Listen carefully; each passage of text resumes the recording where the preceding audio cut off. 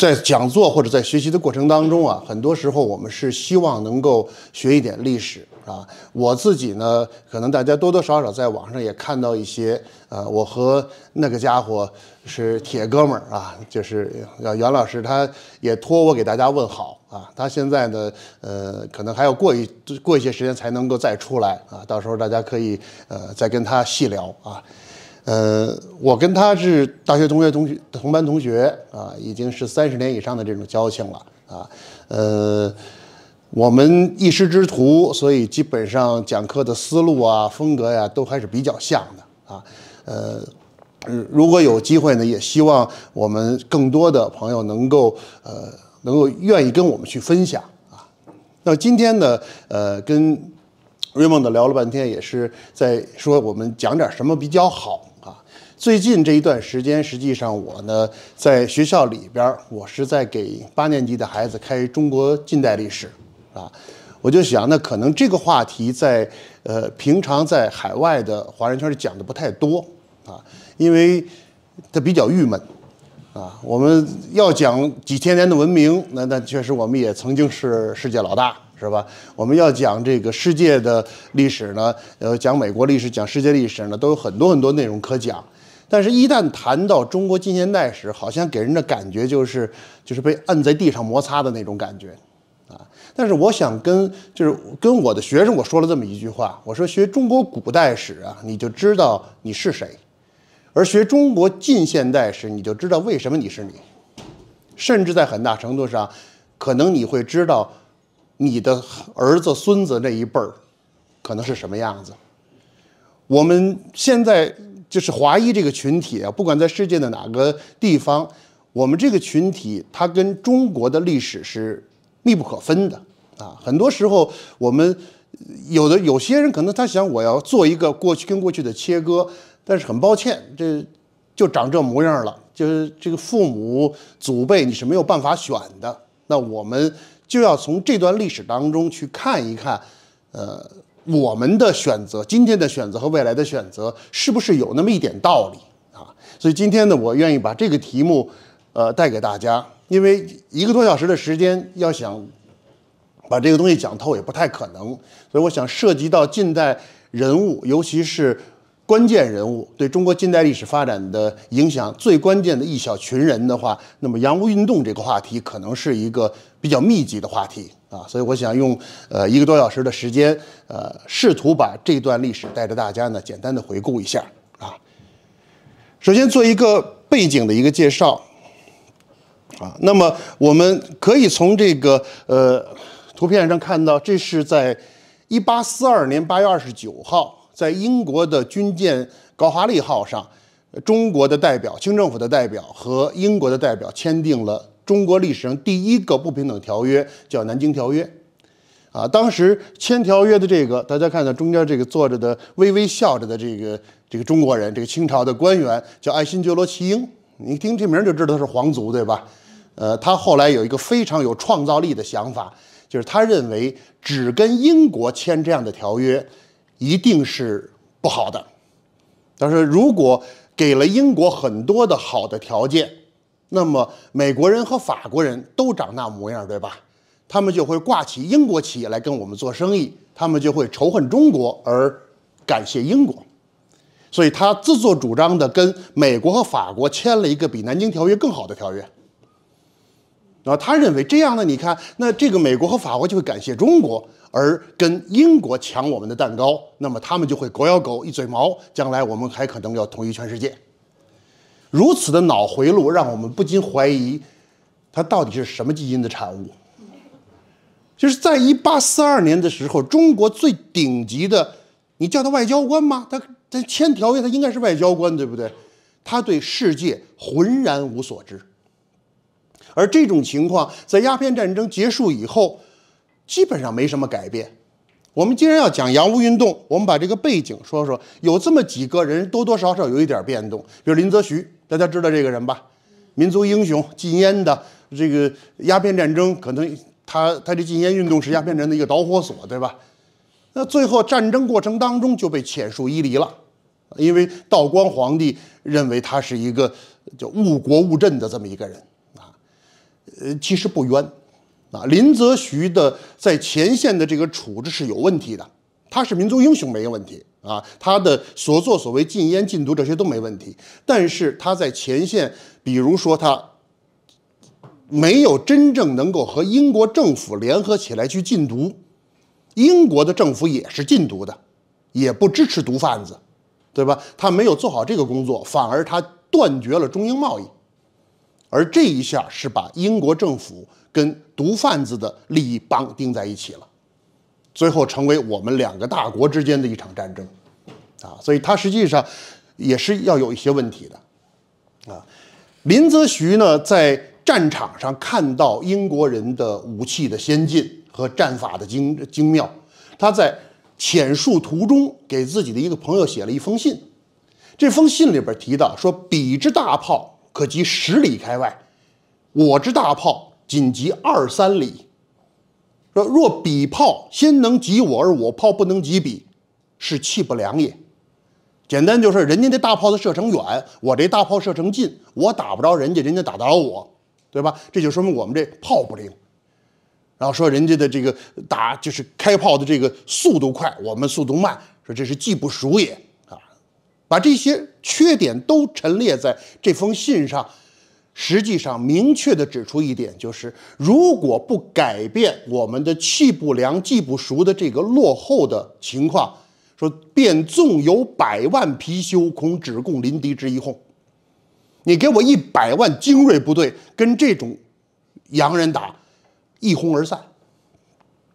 就这句话，你仔细想想，二零零三年美军打伊拉克什么样？伊拉克的共和国卫队号称五十万精兵，号称五千辆坦克，号称世界第三军事强国，对吧？在美国的打击之下，伊拉克几乎没有任何还手之力。五十万的共和国卫队哪去了呢？烟消云散，就一瞬间就没了。这这支部队，呃，林则徐可能就意识到，人家的这种强大之处不是我们在短期之内所能追得上的。但是在这封信的最后，他告诉他的朋友。你把这封信看完烧了，千万不能让别人知道我已经知道我们不如人家了。他那朋友没听他的，把这封信没烧，留下来，所以在史料里现在能看到，否则这件事儿就死无对证，就谁都不知道了。那各位可以想象，为什么他在前线他有过功劳，也有过过失，但是他把自己获得的一手材料，却绝不愿意公开去谈。就你仔细去想，中国人最看的这面子，是不是在他身上显示的非常的充分？啊，那姚莹、徐继瑜、魏源这些人都是当时的一流的人才，其中级别比较高的，像徐继瑜做过福建巡抚，也就是省部级的高官了。啊，呃，魏源这些人可能级别低一点，但是魏源的成就最高，是因为他把林则徐临遣戍新疆前收集的四周志。给拿过来编成了这本《海国图志》，而这本《海国图志》在中国没有引发任何的反响，反而是被偷偷带到日本以后，引发了日本朝野的一片惊呼。日本从这个这本书里面看到，说西学要超过这个汉学，要超过中国，是从这本书中开始的。所以有的时候想起来说，那一次鸦片战争之后，师夷长技以制夷，我们想了这么多，说了这么多，最后的结果是什么？几乎是零。我举一个例子，到二次鸦片战争的时候，一八五六年英国开始跟中国打二次鸦片战争了，到一八五七年广州沦陷，在广州驻守的这位中国的两广总督，就是两就是广东广西的最高军政长官啊，叫叶明琛。叶明琛这个人呢，创造了一个被俘在战场上被俘的一个伟大先例，前无古人后无来者。他外号叫六部总督，不战不和不守不死不降不走。你是人家打过来，我得打吧，不战。啊，他成天在那儿算命，军机禁止取决于这个吕洞宾和李太白二仙，就全是在那算命。这就是中国最顶级的封疆大吏，两广总督啊，那不是一般人呐，对吧？你打不过，你和谈不谈？防守守不住，对吧？你自杀不干，投降，不可能逃跑，跑不动。就 Mr. No，你知道吗？老 No 先生，他把一切的可能性全部否决之后，被人家生擒活捉，然后带了一本《吕祖经》，就是这上八洞神仙吕洞宾这个《吕祖经》，带着他跑到被被人捉到印度加尔各答，死在印度了。然后还自号海上苏武。大家知道中国这苏武牧羊的故事吧？人家号称海上苏武，人家牧的是印度羊。就就就是这么个玩意儿，你知道吗？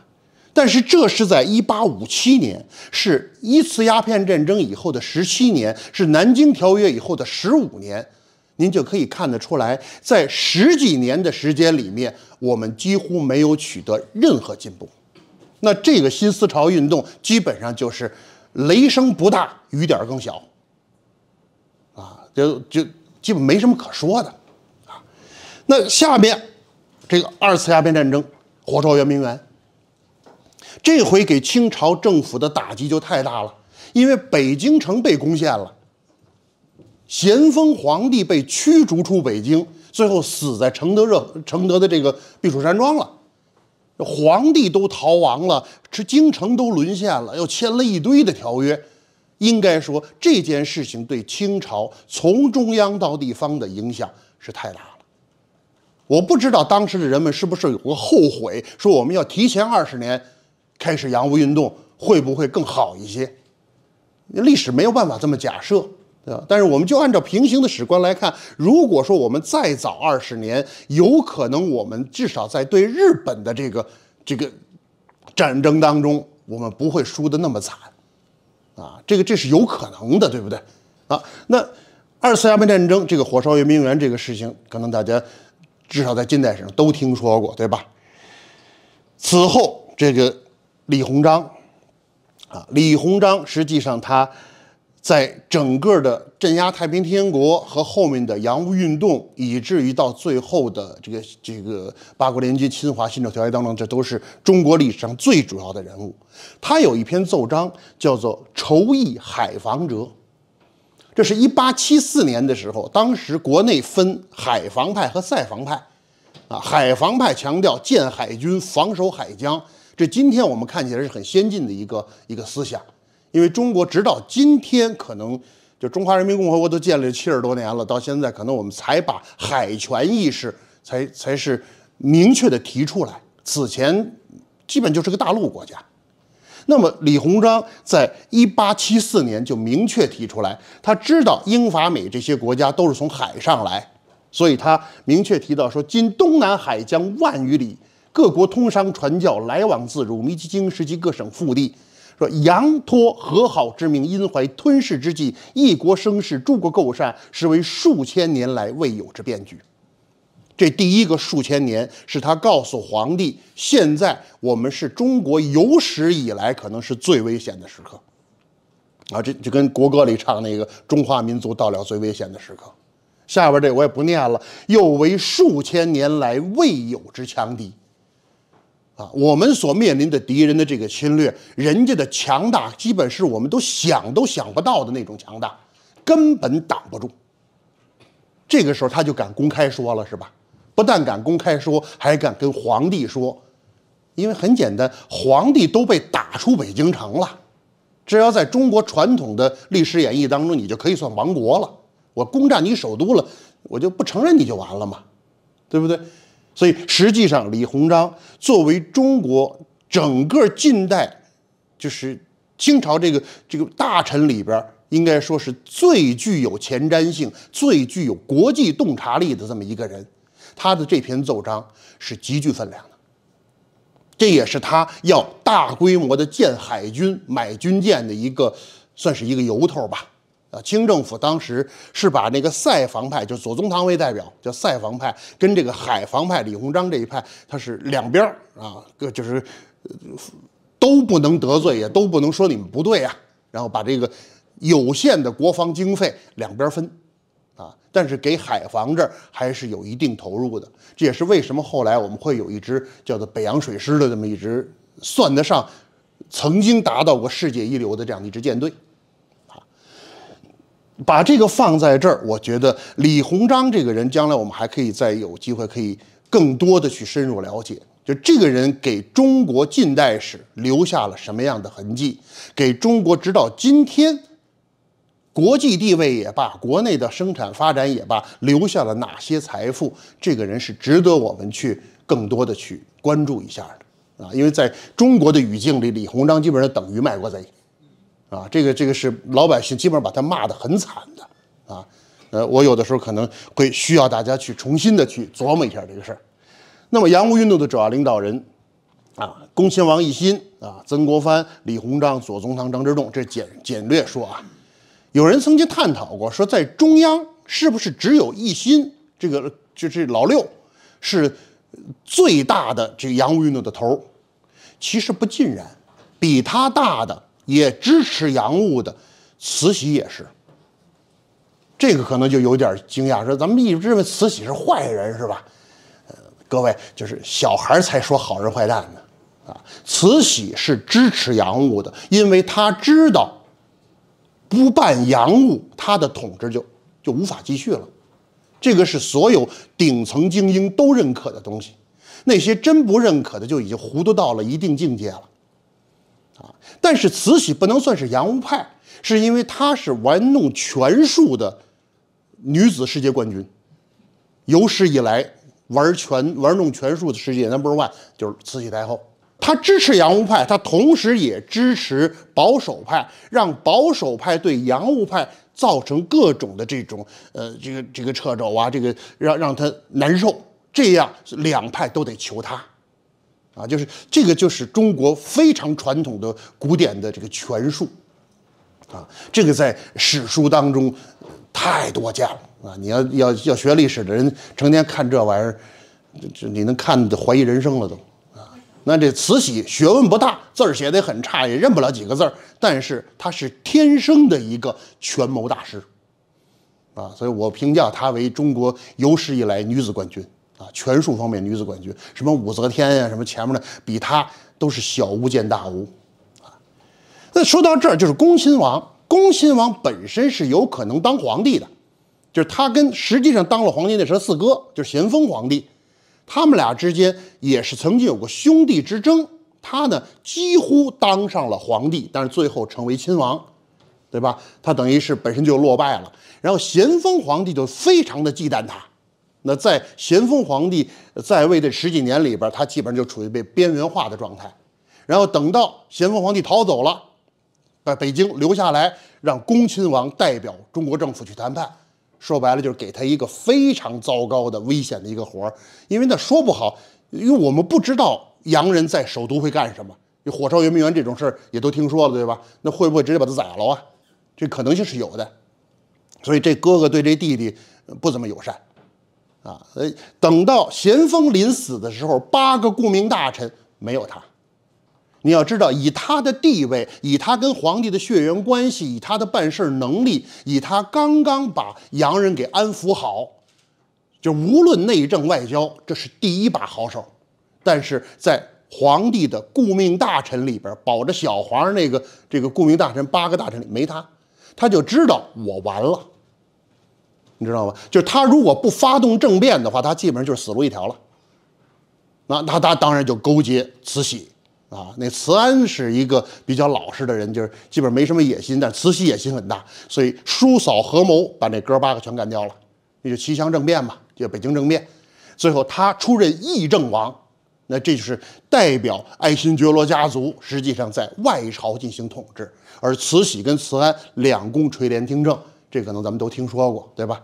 那他在执政期间是大力的推进洋务运动。所以中央有这么一个亲王级别的在这儿坐镇，这比咱们刚才说林则徐那些人就地位就高得多得多了，这不是不是同一同一量级的了。而曾李左张这四位算得上是清代的，就是从同治皇帝以后作为同治中兴的四大名臣，啊，跟他们做助手的还有一批人，但是最杰出的是这四位，啊，呃，整个的这个。洋务运动的口号其实原则就是师夷长技以制夷，就是学习西方的先进技术以抵御西方侵略。而后来就变成了师夷长技，先叫以自强，后来叫以求富。啊，富强的这个概念，这也是李鸿章他们这些人第一次明确提出来的。其实我现在在国内就是教中学生的时候，我有时候会问他们，我说，比如说，呃，我们叫做强我所欲也，富亦我所欲也，二者不可得兼，舍 A 而取 B 者也。你们你们挑吧，好多人都会挑强。那为什么说不强的话，你光富你就被人欺负啊？所以你就会发现，在国内的年轻的小朋友们身上，他们不管是从社会上，还是从家长那儿，还是从以前的老师那儿，他有一个根深蒂固的被欺负、被侮辱的这样的一个一个民族印痕在。他会认为我强了才行啊！当然，我我也不纠正他们。我当时就问他，我说：“那这个国家如果在现在世界上这个国家里既富且强的，比如说美国，咱们可能都觉着好，是吧？咱不不说。”如果说富而不强的，你举几个例子；强而不富的，你再举个例子。然后这些国家放在这儿，你愿意移民去哪个国家？最后大家一致认为还是富而不强好一点，对不对？我说那肯定，你愿意移民加拿大的，肯定不会愿意移民北朝鲜，对不对？这两个国家完全是两个极端，对不对？所以这。等到他自己选择出来，他还他才知道哦，原来我在过去受的教育里边，可能有那么一些被人点拨过的痕迹啊。就是这个在现在，包括在四中的学生里边，其实因为四中是北京最好的学校了，也是也是存在的这种现象啊。好，那我们就看看这四大名臣，因为一心是中央的，他没有亲自做什么事情啊，他就是主持这个大政方针。地方上的事情主要是四大督府在做。先看曾国藩，他创办的叫安庆内军械所。从时间上来看，一八六二年正好在他镇压太平天国的最后的两三年的时间里。太平天国是一八六四年被彻底压下去的啊。那么在一八六二年的时候，曾国藩是发现洋人的洋枪洋炮在跟太平军作战的过程当中是非常管用的。那么他就想到了，我能不能够聘用洋将，就是洋人的工匠啊，甚至培养我们自己的工程师，我们来仿造枪炮，甚至仿造轮船，啊，呃，他这个左边这个图就是实际上他的华人工程师啊，咱们中国的工程师造出来的蒸汽机，啊，这个在曾文正公的日记里边写的非常清楚，他说我被带去看。啊，我们的工程师造的蒸汽机，我太高兴了。说洋人终于不能再欺压我了，因为你会的我也会，你不能再笑话我了。啊，右边这艘船叫黄湖号，是用这个蒸汽机造的中国第一艘小火轮啊，吨位不大，一百多吨，一个小船，但是是明轮蒸汽动力的，在中国历史上的 number one。这条船在长江江面上跑起来了。跑得还挺快，跑了一个多钟头，歇菜了，坏了，就一个小时就坏了。但是曾国藩还是特别开心，因为我们自己造出来，跟洋人至少能差不多的东西了吧？啊，这这两位工程师就是右边这两位，一个是华恒方，一个是徐寿，啊，徐寿、华恒方在中国历史上是没什么名气的人啊。这俩人从小就不是好学生，四书五经念的就不怎么样，就不爱去。跟着夫子们学那个知乎者也，就爱动手鼓捣点不着调的东西，所以这俩人最后臭味相投，凑一块聊得比谁都开心。但是他们取得的成就啊，徐寿是第一个在 Nature 上发表论文的中国人，他发表过 Nature，今天这就是院士级的，对吧？那这绝对是水平够的。华恒芳也是一个大数学家。像这些人，他们在中国近代默默无名的这个环境里边，实际上为中国的进步做出了很大的贡献。如果在座各位，比如有学化学专业，或者咱还记得中学这个化学元素周期表的，那里边的很多字儿都很怪，是吧？都是徐寿给起的。啊，当年徐寿起的时候，头都快秃了，因为这玩意儿没这么多字儿啊，因为那东西都是。对中国人都是新的元素，对不对？就一个一个的往上愣凑愣编。后来他发现好的是什么呢？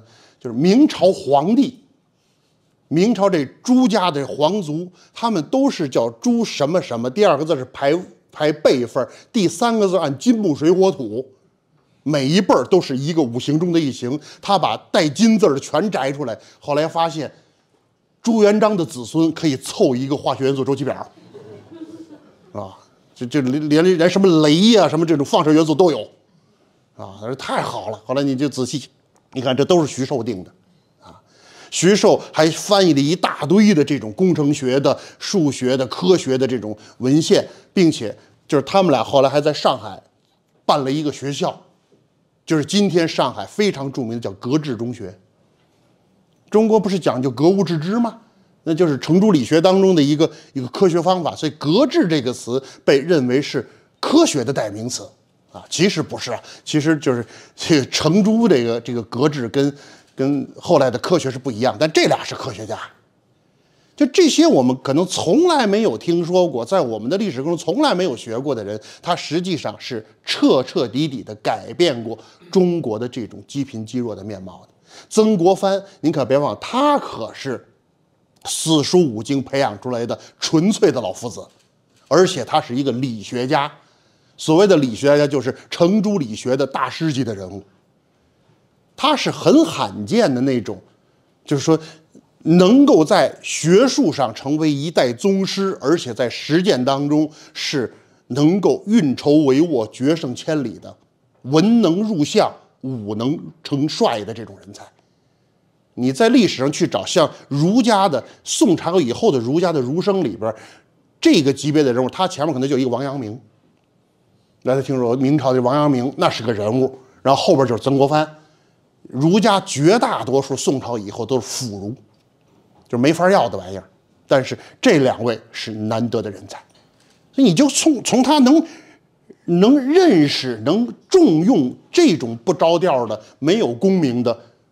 知识分子，你就看出来他的这种格局，绝不是一般人所可以比拟的，啊，那这个人就更牛了。这个人叫容闳，你就一看他这打扮，你就知道这头发就不一样了吧？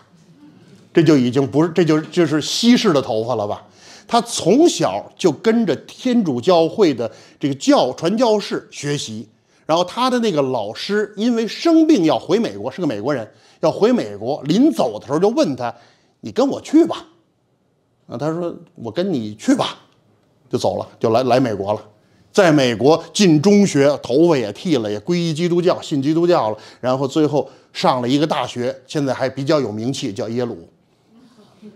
你们应该听说过啊，耶鲁，耶鲁毕业以后，这个人是被认为是有史记载明确记载的第一个拿了美国学士学位的中国人。啊，回来以后想想报效祖国呀，想报效祖国，那头发也剃了，他也不是清朝人的模样了。但是想报效祖国，他就想了，哎，我信基督教，信上帝，对吧？中国大地上有一股力量信上帝，叫洪秀全。洪秀全那个有中国特色的基督教，你知道，那太有中国特色了啊，直接投洪秀全去了。因为上帝嘛，上帝那都都是兄弟啊。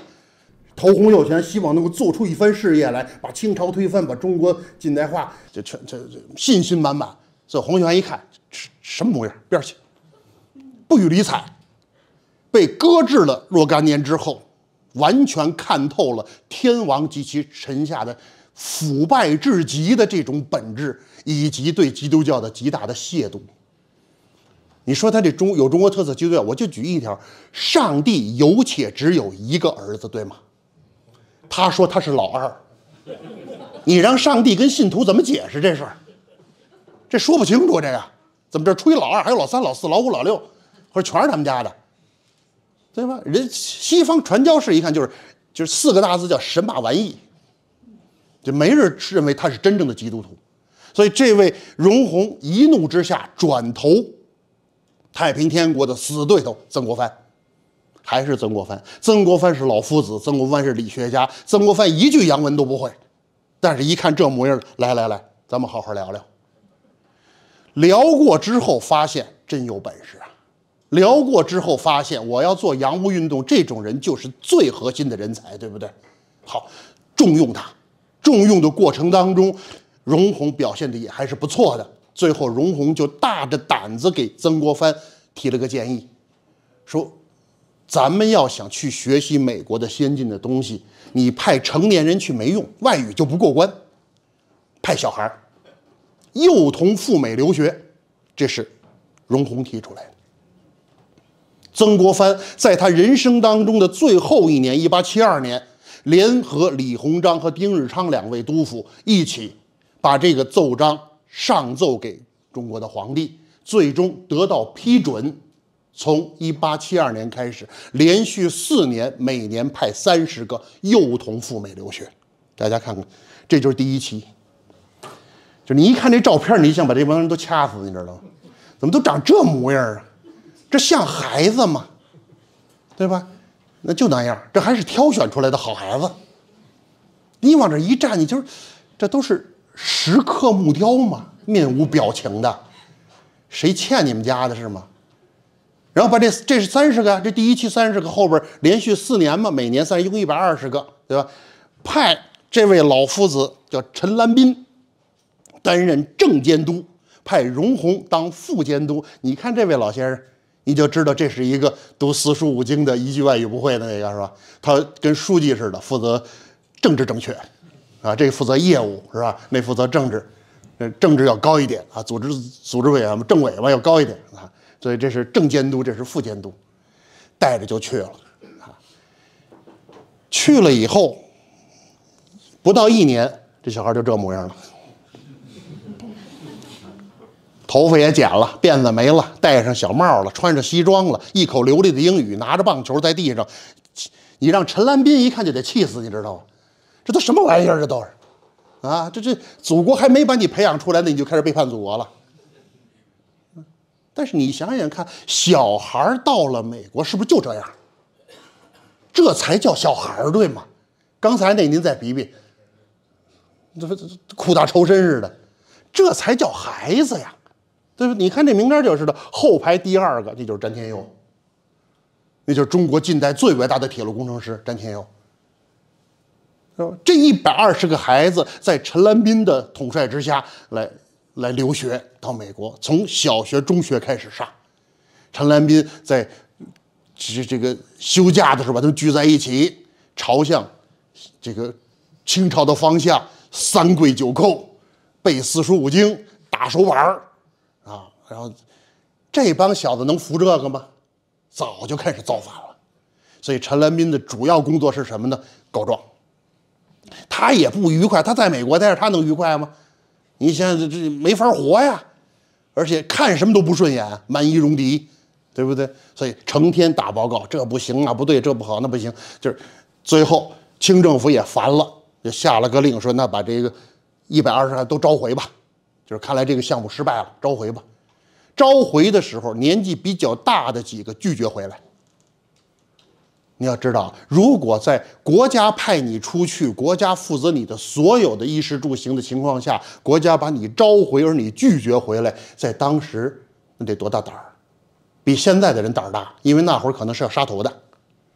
这几个没回来的，有几个大的就真进了大学。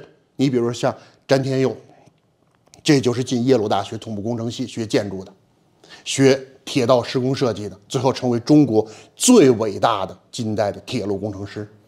今天您要是从北京过来，您知道八达岭这儿，对不对？他那人字形铁道，这这都是他干的，啊，那是西方的铁路工程师可能他未必敢干的事情。那这是这是一把好手啊。为数不多的几个在美国受过比较好教育的，这我我这四期每期给你举一个。第二个唐国安。有人听说过他吗？没有是吧？清华大学校长，就清华学堂。后来庚子赔款不是建了清华学堂吗？第一任监督就是他，啊，第三任唐绍仪，民国第一任总理，啊，唐绍仪。第四位梁诚，那看着就好像不太出众是吧？清朝最后一位的驻美公使，啊，驻美公使跟美国政要聊天的时候，就是少来这套，我都懂。当年。棒球你输给我们了，啊，就是一口流利的英文跟跟美国人，那美国人看 我这这长这模样还能这么还能这么折腾的，就是就是西方的通一样啊，人精似的。这些人在后来都多多少少起到了一点点作用，但是，一百二十个人中的绝大多数没有留下来，都撤回来了。就算撤回来，也是在各个领域当中都是骨干力量。所以这一次，容闳实际上是惨败了。他的这个计划本来是要更长时间取得更大效果的，他最后呢就就待在美国，最后一直是到一九一二年他才死，啊，他死后就他是埋在这个康涅狄格州嘛，就在这个耶鲁大学旁边，直到今天耶鲁大学里边还有他的纪念的这个这这个纪念堂啊，还有他的墓地可能也在附近。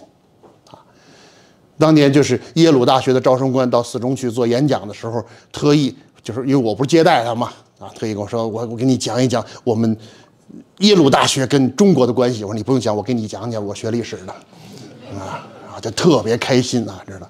因为这个关系只要一搭上，你就会发现这心气儿是通的，因为这样的人在历史上是没几个的。那曾国藩因为是四大名臣当中的老大，年龄也比较大，他干的事情基本上就是这几件事儿，已经是很了不起了啊。左宗棠，左宗棠比曾国藩小一岁。左宗棠的特色是什么呢？湖南的蛮子，就是湖南这湖南人这脾气好像就是比比较比较诡异。后来我就发现，中国近代史啊，能够挑头改变中国的都是广东人，能够最后收服广东人都是湖南人。啊，那这湖南蛮子就这这，他没有考中过进士，他最高身份就是个举人，举人也可以做官但是做不了大官基本就知县这一级别，可能举人是可以做的，往上不行，所以他一直以出身为耻。啊，其实他的才华肯定是够的，后来因为功劳太大，他也做到了封疆大吏，做到督府一级了，结果在做做这个陕甘总督的时候。就陕西、甘肃的总督的时候，他突然给同治皇帝写了封信，说不干了，说我我我有点别的事忙，我不干了。皇上，你忙什么呢？我要参加科举考试。我不是不是进士吗？你们不是老嘚瑟我吗？我要回朝参加科举考试。等我参加完了，您把我从六品官往上重新升。同治皇帝都快气哭了，你知道吗？你在前线那么重要人，你回来参加考试，算了，赐同进士出身。就是我，我赏你个荣誉进士吧，你不不要回来折腾了。他就赌这口气，所以凡是到他门口去拜见的那些低级官吏，只要名片上写上是进士，门口站着；只要名片写着举人，来来来来，进来进来，先聊先聊。就这人脾气就这德行，你知道吗？他跟李鸿章也是死对头，他跟曾曾国藩其实也是较劲，因为曾国藩怎么都碾压他。呃，本事可能他他比曾国藩要强一点，但是无论在这个事功到这个品德，在才学各方面，其实曾国藩都不输给他，都都碾压他，啊，所以最后他跟曾国藩也属于那种都是湖南人嘛，就也惺惺相惜，但是也一直在较劲，啊，一直在较劲。左宗棠和沈葆桢，沈葆桢是他的助手，他在闽浙总督任上待了不久就走了，是这个沈葆桢接着干，他们干的一个漂亮事是什么呢？就是这个福州船政局，中国第一个能自己造两千吨级的蒸汽动力轮船的地方。福州船政局，你今天到福州去看，就是马尾地区这这个基础设施还都在。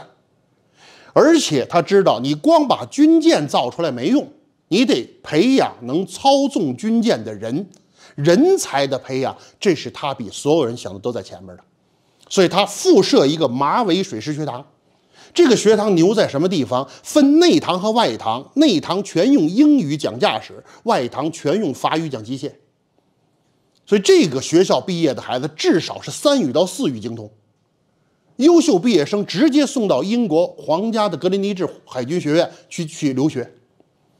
后来北洋水师的各舰的管带，就是舰长啊，基本上都出自马尾水师学堂。啊所以这个就是你如果说曾国藩那个安庆那军械所是最早造开花炮弹嘛，就是能能炸爆炸的炮弹，那是最早的。那这个就是理念最先进的一个啊，确实左宗棠的水平不一般啊，当年有一个外号叫“就中国不可一日无湖南，湖南不可一日无左宗棠”，就就就这么牛的一个人物啊。那他确实很牛，他后来也是因为名气，他比这个李鸿章的名气好。李鸿章卖国贼嘛，成天就是双手沾满人民鲜血的刽子手，然后对外就是卖国妥协啊。他的好好在哪儿呢？就是他收复新疆，他收复新疆，抵抗沙俄，可以说成为民族英雄了。所以人们一般很少骂他的，对吧？但实际上，从对近代的影响来讲，李鸿章无疑还是要碾压他的，啊。好，你看到这样的，呃，就是比较现代化的思想，你会发现，洋务运动确实要比林则徐他们这个新思想要好得多得多了。那真不是在同一个层面上，对吧？大家可以看这张，这是一张老照片，就马尾水师学堂的照片。啊，我前些日子上福州去开会去，正好有半天的功夫，我就跑到这个码头去去看，去去采访啊，就去拍一些照片。但是现在基本都看不出来这样子了啊。但是这就是中国的叫海军教育的发起地，啊，这是很很了不起的一个事儿啊。你再看这个，这就是水师学堂留英的那个一些学生，都看不大清楚谁是谁了，是吧？也是后来定远舰的管带，像这个，呃。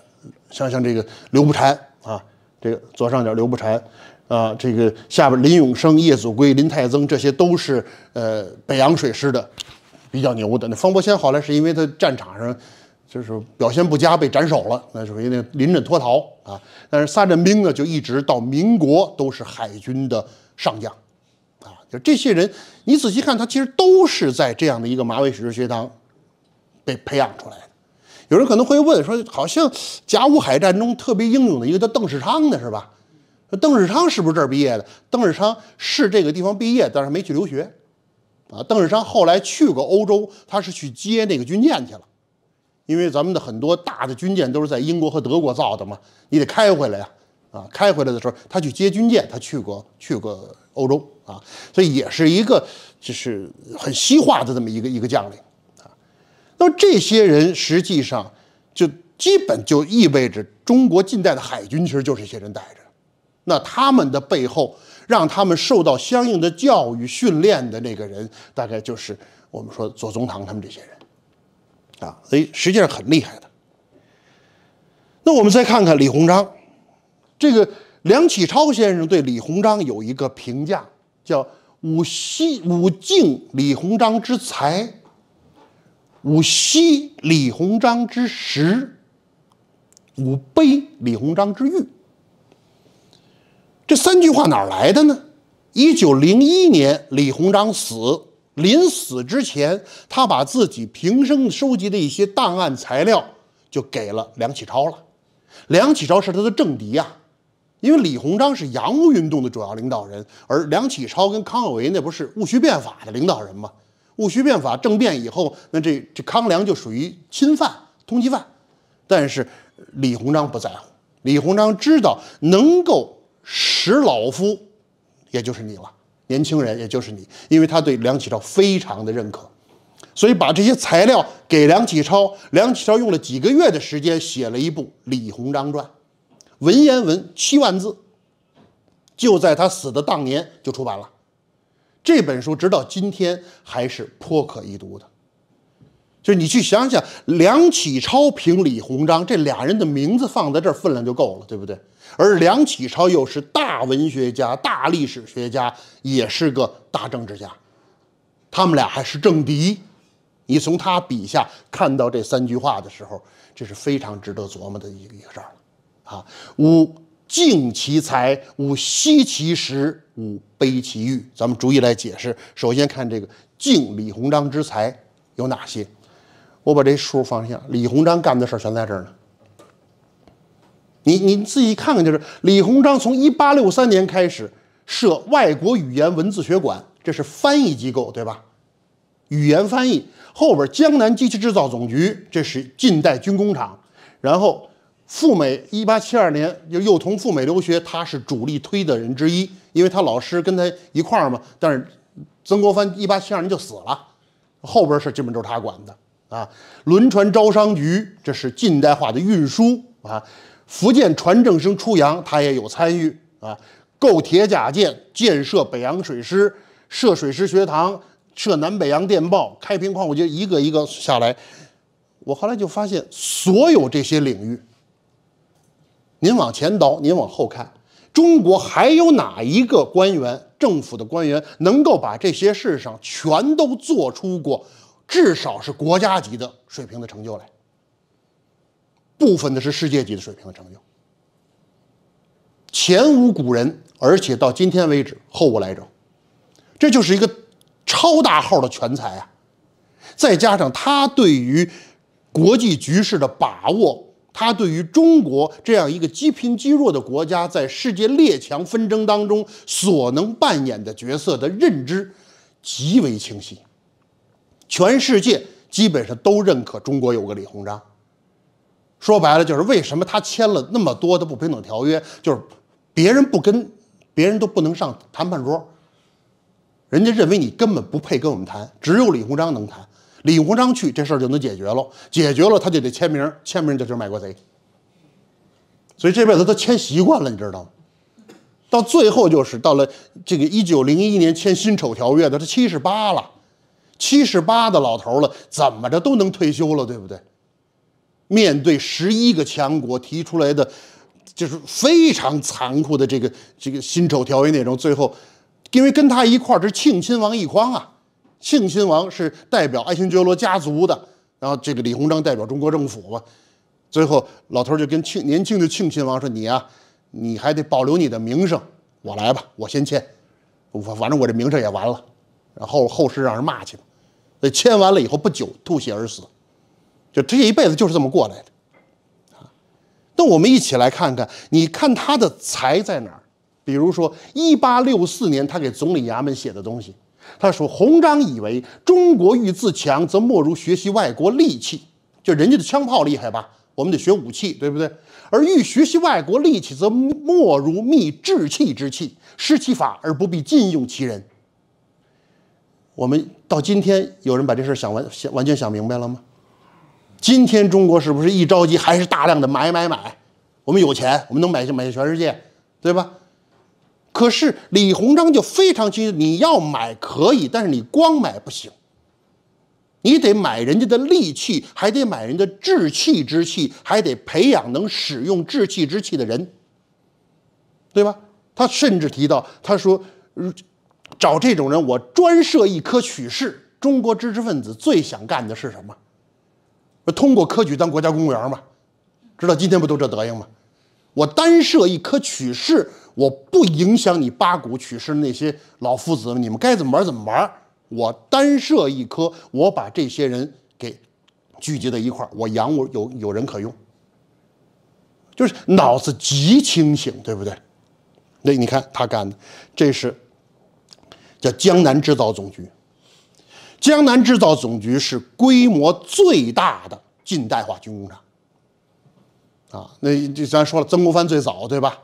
左宗棠最先进，它这是最大的，而江南制造总局一直到民国都有，到现在都有，它就是今天的上海东方造船厂。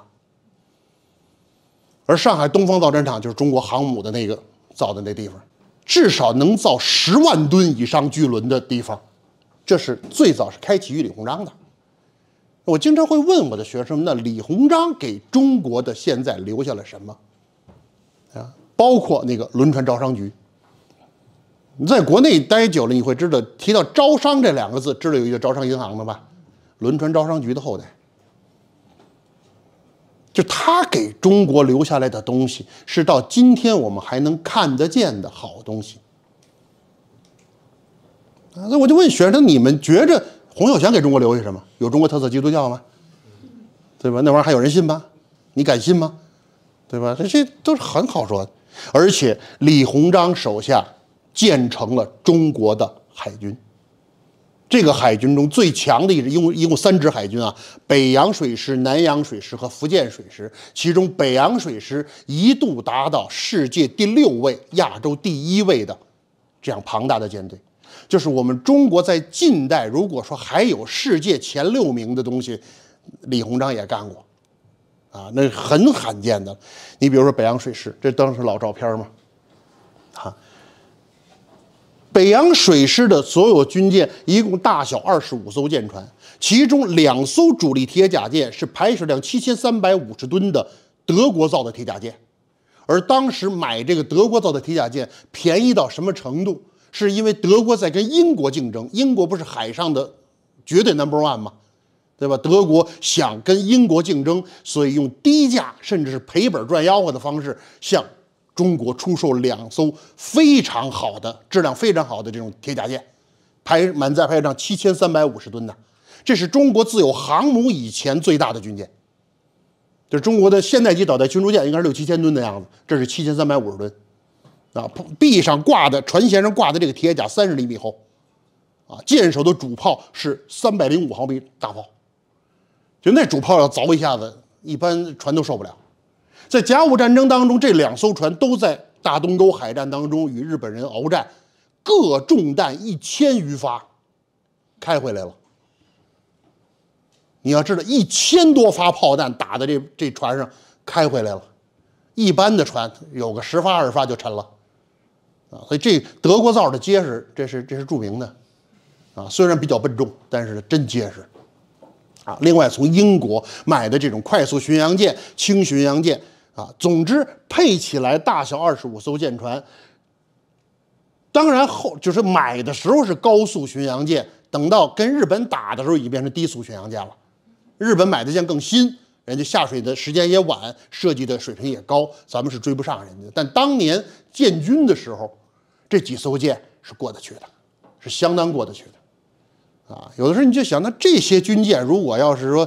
就就不用说是是征服全世界了，咱们保证一个亚太地区的维和的任务，咱们还是可以做到的吧？是不是出去溜达溜达去什么的？咱们也溜达过呀，这这北洋水师跑日本溜达过一圈，给日本给吓的。日本当但日本人这个这个民族就是就讨厌就在这儿，就属于他他他害怕完了以后，他想办法揍你，啊，他就下定决心从天皇开始节衣缩食，这就就特别具有。就跟中国某些人一样，具有表演性人格，你知道吗？天皇就是一一著名表演表演艺术家啊！我都要饿肚子啦，我省钱给咱买军舰，买军舰打清朝，就那俩大家伙弄沉它啊！日本人上下我就就就奥利给了，你知道吗？啊，捐钱啊，捐钱，甚至有的那日本从事特殊职业的妇女捐钱啊，捐捐钱，因为这这不管怎么样都是为海军嘛啊！那最后人家这真的就在。这个海战当中把咱给彻底的打败了，啊！我所说的洋务运动最后的失败的标志，就是在这个北洋水师的全军覆没上，那是作为标志性的事件，啊！至于到这最后，咱就是等讲，如果有机会讲这个甲午战争，我们可以去分析分析为什么我们打不赢，实际上是有一点点希望的，但是呢，基本上这个希望。就是比较虚幻的那种希望，实打实的硬碰，咱们是明显不如日本的这个军事实力了啊！你看，这是，就是就是舰首的这个定远舰舰首的这个这个炮弹，这炮弹基本上半人高，就这个水兵坐在那儿，跟他的这个比他头还高一点，就这一号炮弹要要凿上的话，日本是非常要命的啊！其实，在大东沟海战当中，定远前主炮的一发炮弹是打进日本旗舰松岛号的弹药舱的，就是那发炮弹打进去，如果爆炸了的话，松岛号一定已经全体玉碎了，为天皇尽忠了就。但是没炸啊，所以后来很多传闻嘛，不是说包括小说演绎里说这那炮弹里不是炸药，是沙子，是是没咱没钱，不是的，啊，就是。就是在这个演习当中的炮弹里面配上一些沙子，是为了配重，是为了有一些技术操作，这是允许的。但是没有把所有的炸药全部换成沙子的。咱们打的那发炮弹不是爆破弹，就是是就是海军队里讲的叫榴弹，榴弹就是能爆炸的那个炮弹，那叫榴弹。咱们打的是穿甲弹，穿甲弹是干嘛呢？是在船上凿眼儿的，它不爆炸，它给你打一眼儿，然后。如果在水线以下，你沉了嘛，就漏水了嘛。所以那发穿甲弹打到了弹药舱里边啊。当时日本的这个联合舰队司令伊东佑亨当时两眼一闭，就准备为天皇玉碎了嘛。后来发现，哎，没碎啊，这就是狗屎运就都凑一块儿了啊。那就总体而言，我们的这支舰队是曾经至少让我们的东亚小伙伴感受过一丝压力的，那这一反过来看，是北洋水师或者说中国海军，甚至说是洋务运动的一个成就啊，啊，最后打败了，全军覆没了，咱什么也不说了，那那确实是我们不灵，对吧？那就该服也得服，但是这个过程里边，李鸿章所做出的这种。努力应该说是是看得见的啊，啊，这是他的这个机器织布局。因为英国的打中国鸦片战争，它是为了把中国变成它的原料产地和商品市场，对吧？英国在工业革命当中最领先的就是就是这个棉纺织业嘛，所以卖布实际上是英国的最主要的这样一个出口产品。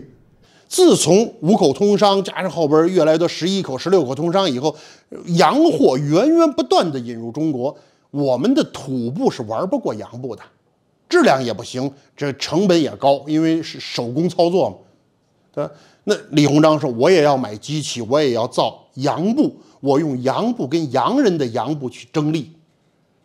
很简单道理，就是因为军工厂它的大量投资是没有回报的。它也不像现在美国军工厂，它可以跟政府签协议，它可以卖给政府，政府可以采购。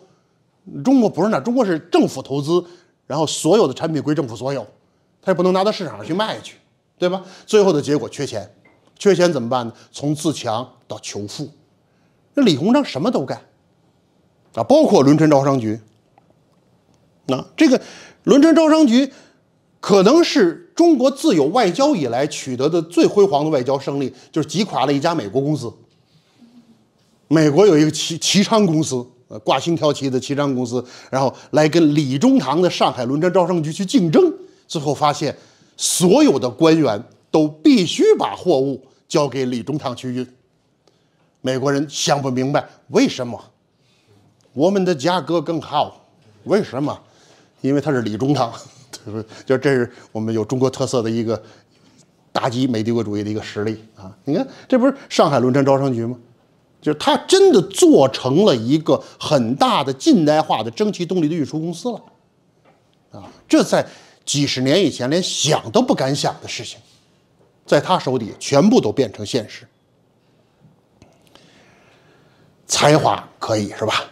那什么叫五犀其实啊？我们经常看到才识，才识，才是用英语的 knowledge 或者 talent 或者是什么，就是我的才华，我的本事，对吧？但识是什么？我不知道怎么翻译这词，我就是用英语，你们可能英语都比我好。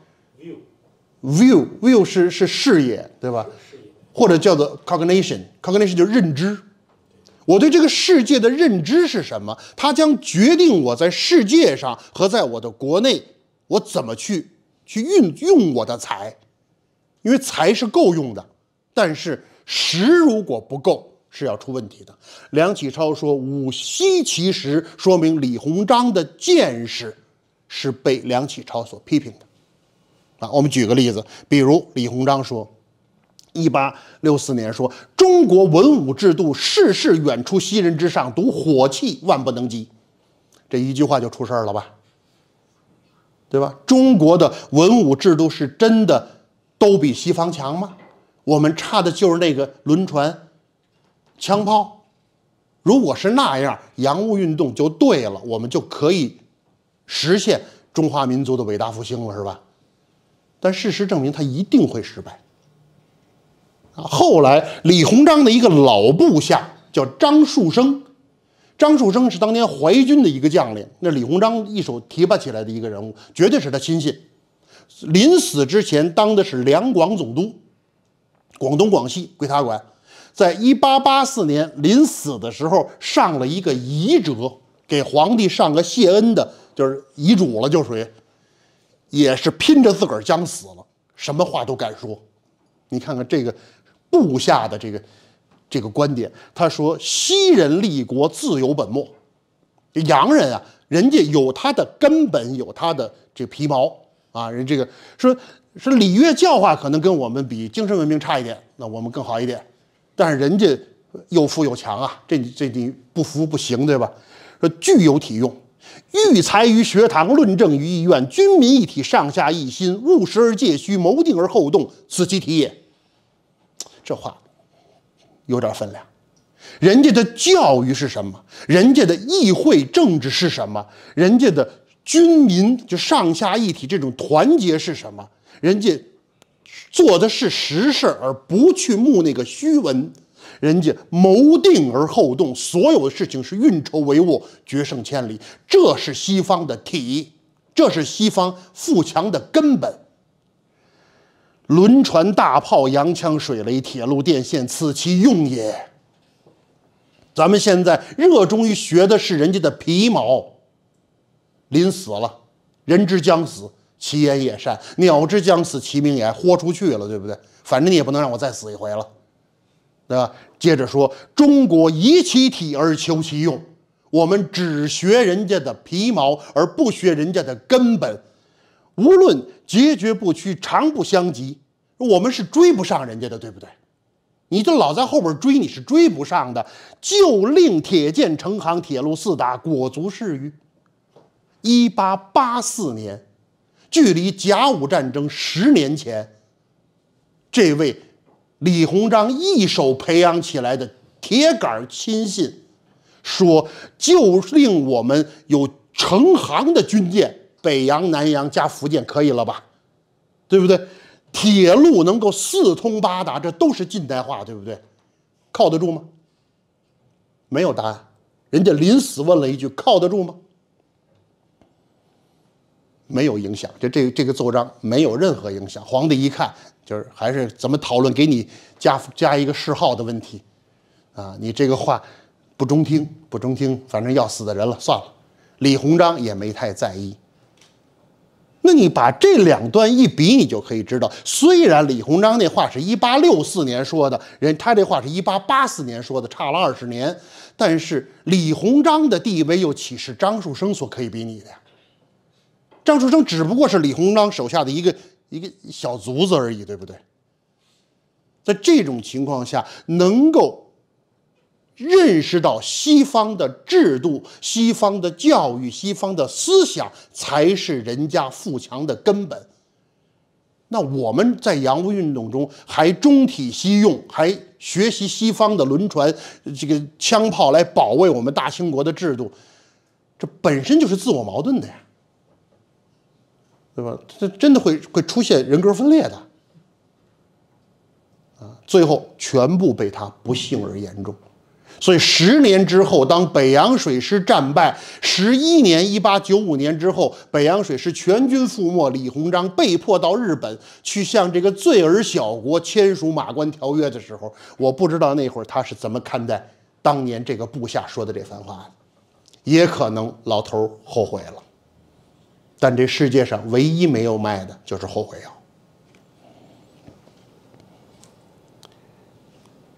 袁伟时先生，这是中山大学的一位哲学系的近代思想史的教授，现在还活着啊。我当年看他的书的时候，就看这本《帝国落日晚清大变局》的时候，应该是在二十多快三十年前，我在新街口的马路边上一小书摊里边，我拿着随便乱翻。打开这本书，我在那儿站了两个半小时，我看了大概一百七十多页，就站在那儿，我就动不了弯儿了。他不是专门研究历史的，他是从近代思想哲学的角度去分析中国近现代历史，非常深刻啊！但是在国内基本是找这书你是不大容易找到的。他就说，李鸿章最大的问题啊，他是个官儿，他永远想着办国营企业。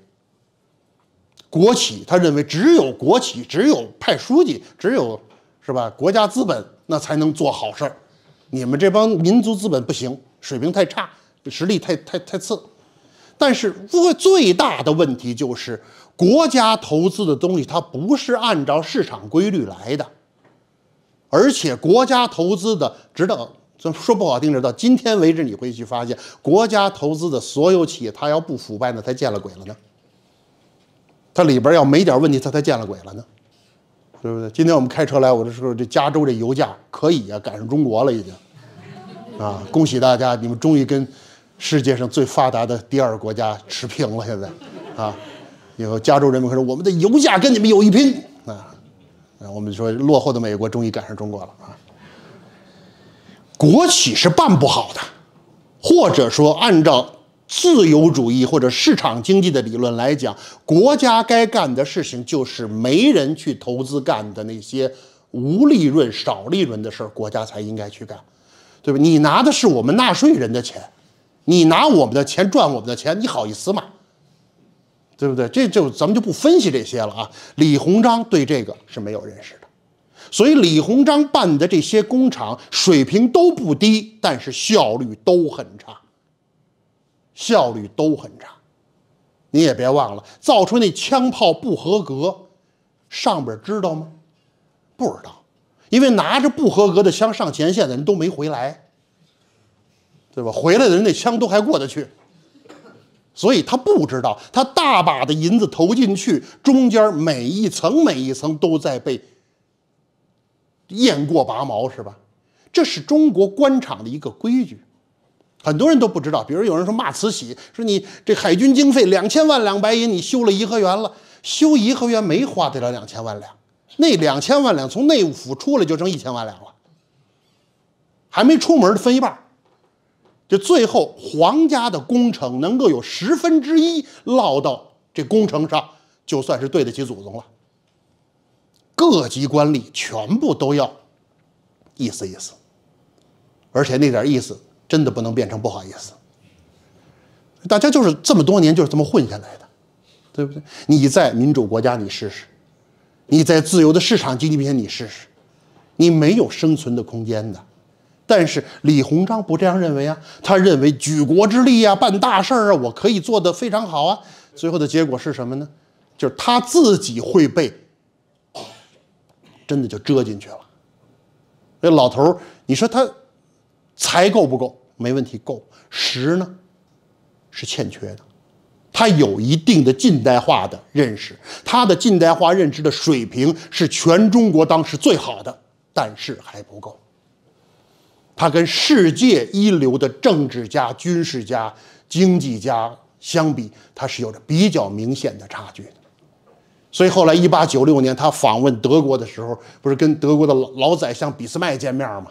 人家介绍说这这东方俾斯麦啊，叫李鸿章，东方俾斯麦啊。俾斯麦说：“我瞧瞧谁是东方我，啊，就长这模样啊。”啊，俩人在俾斯麦的阳台上站着，还指点江山，聊得还挺好啊。但实际上。如果拿他跟俾斯麦相比，还是段位还是差一块的。这个咱们实话实说啊，俾斯麦那在德意志统一的过程当中无可替代。所以袁伟时先生在这里就批评了李鸿章，可批评的这话有人听吗？没有，对吧？这这到现在为止还是这样子。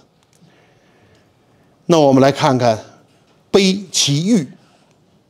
这是一张老照片啊，唐胥铁路，唐山到旭各庄的铁路是唐山出煤呀，从旭各庄这儿就要要要要出煤运到唐山去，是往煤矿里边修的铁路啊，不许拿蒸汽机车来拉，改用骡子拉，因为蒸汽机车坏风水，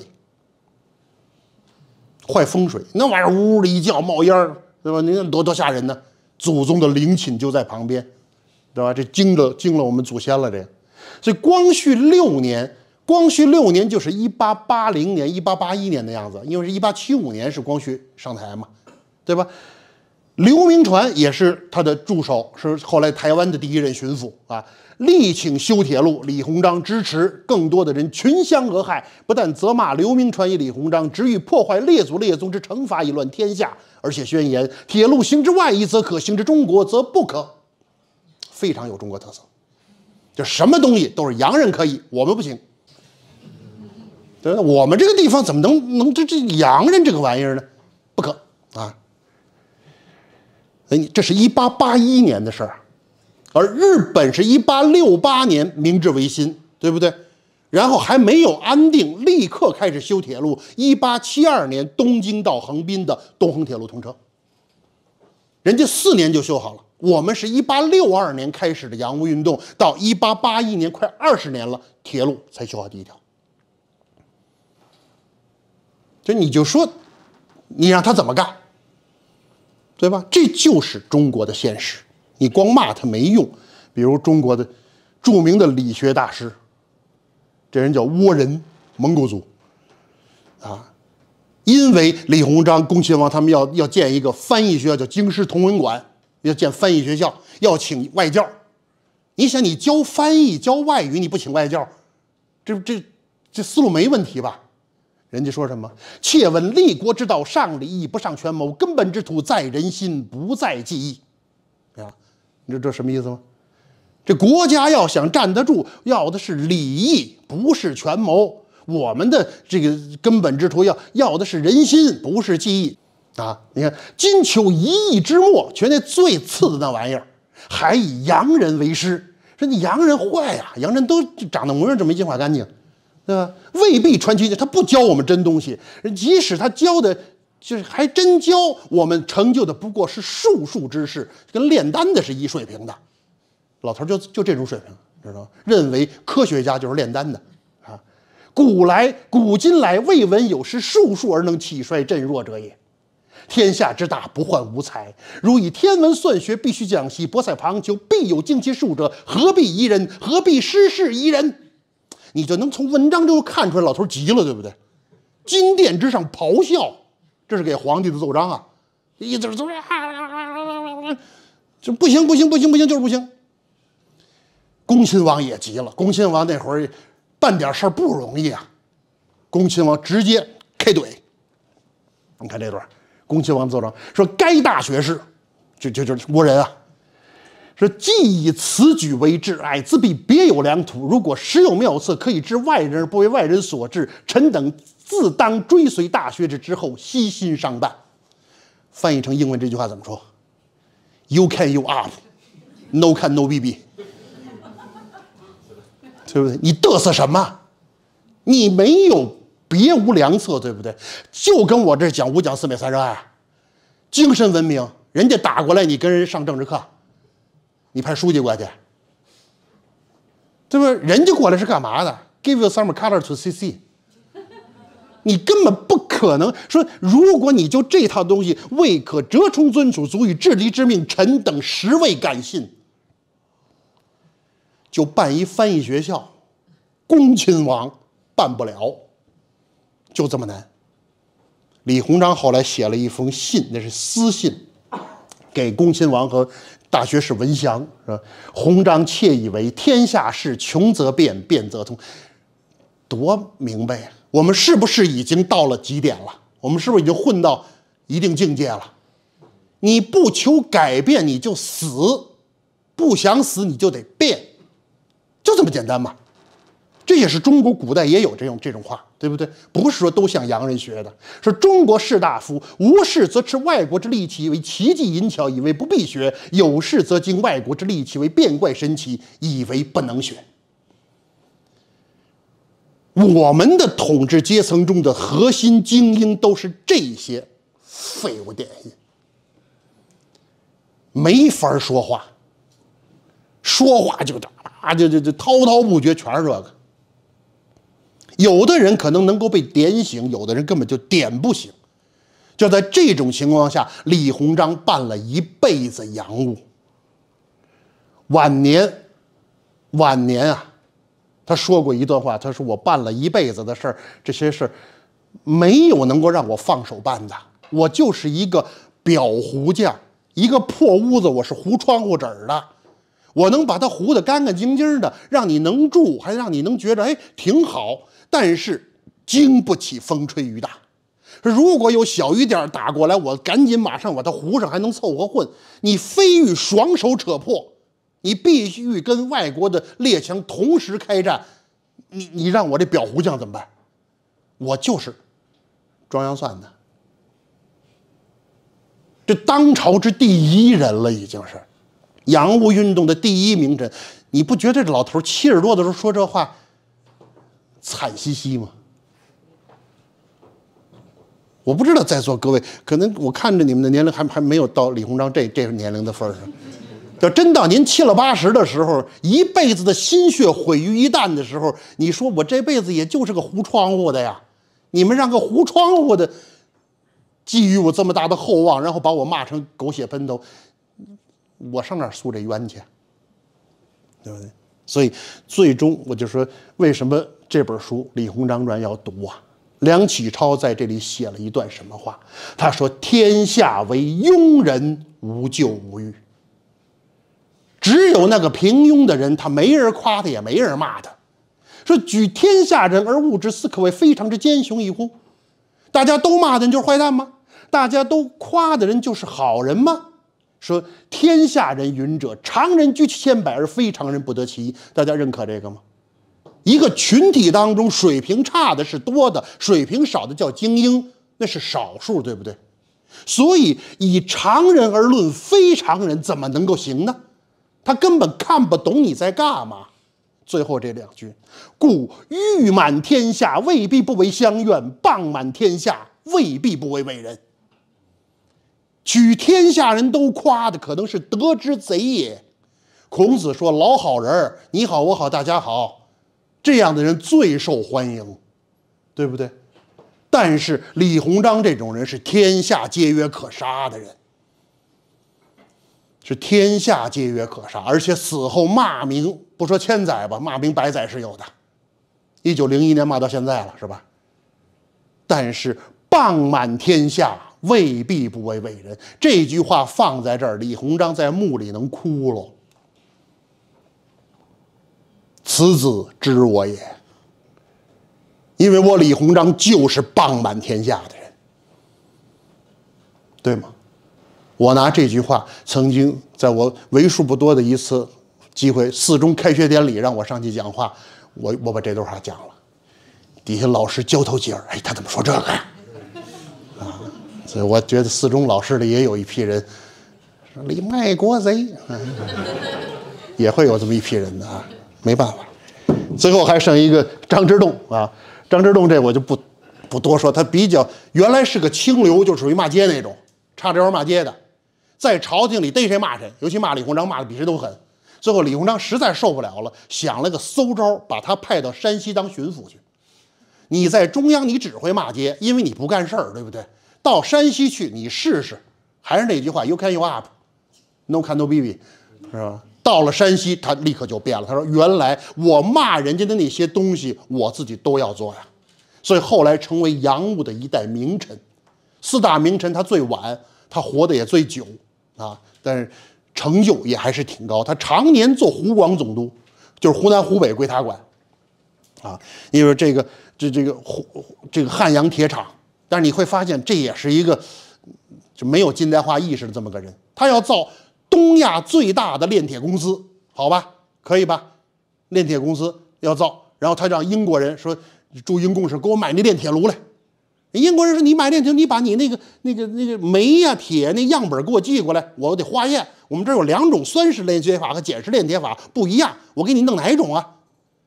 这着急，我这给你寄过去，你再寄过来又没有这这 FedEx 快递，说这好几个月、半年就过去了，你就照英国人用什么给我弄一份来，完了。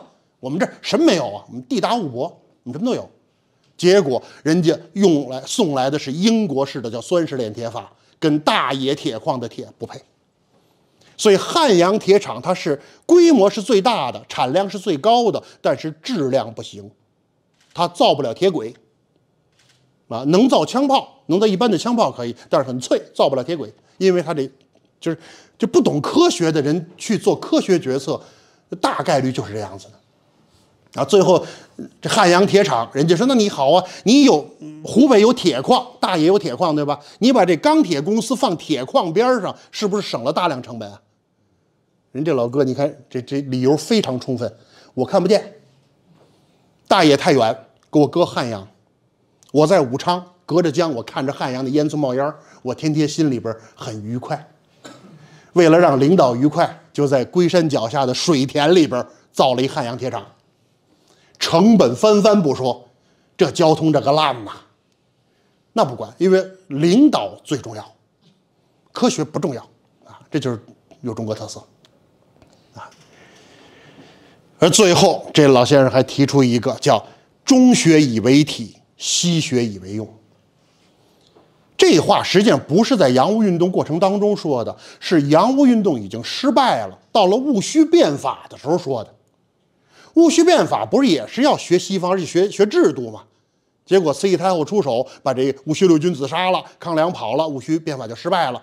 在这会儿，这张之洞站出来说：“你看，我们当年喊出来的那个口号，那叫做‘中学以为体，西学以为用’，怎么解释呢？咱们刚才说半天，张书成那体用说了吗？对吧？中国的传统的制度文化是本体，西方的科学技术是。”皮毛，皮毛是保护本体的，所以我想，各位可能就我讲到这儿，你大概就觉得呢，它失败是一种必然，但是我们也不能否认它有它好的结果，比如它是不是开启了中国的近代工业，用机器生产这事儿我们做到了吧？不管是武器级别的还是民用级别的，我们都用蒸汽机来做了，对吧？虽然蒸汽机是人家第一次工业革命的产物，我们这个这个这会儿都已经第二次工业革命了，人家就开始用电、用石油了，我们还没追上。但是毕竟我们开启了工业化，对不对？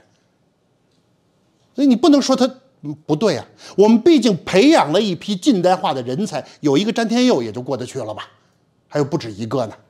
对吧？我们毕竟改革了一些教育考试制度吧，我们毕竟还曾经成功的击垮过美国公司吧，这都是可以写进历史的嘛。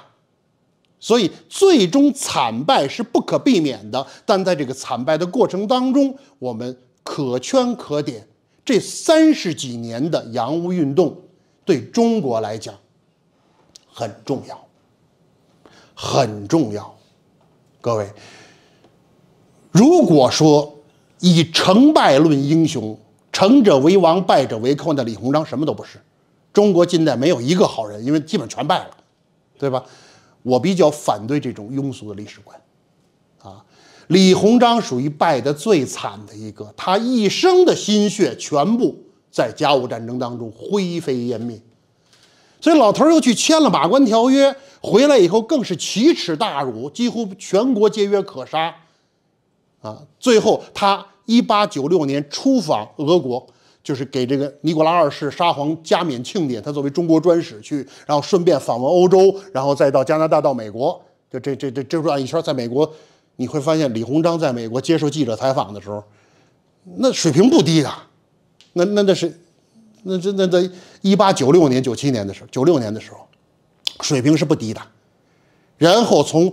好像是从加拿大温哥华坐船回来，路上要在这个日本换船。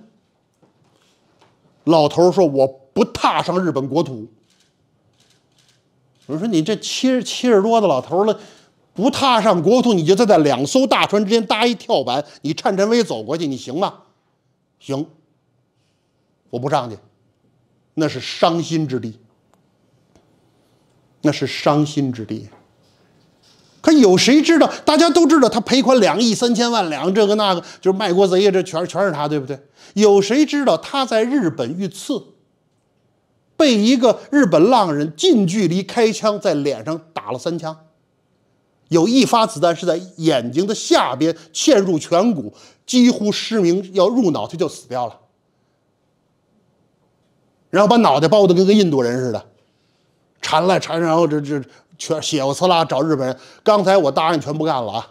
你看，你看，你看，你看，我就这模样，我就让全世界给你散德行去。日本吓哭了，你知道日本当时特别想在列强面前就做出一副我是现代文明国家。李鸿章看你文明个头，你你看我，你看我，我就这样，我就就给全世界看一看。呃，日本人赶紧求着你，你有什么要求你提啊？老头最后说赔款少来一点儿。少了一亿两白银，一亿两，那是全世界有史以来最贵的一颗子弹。一亿两啊！我的天哪！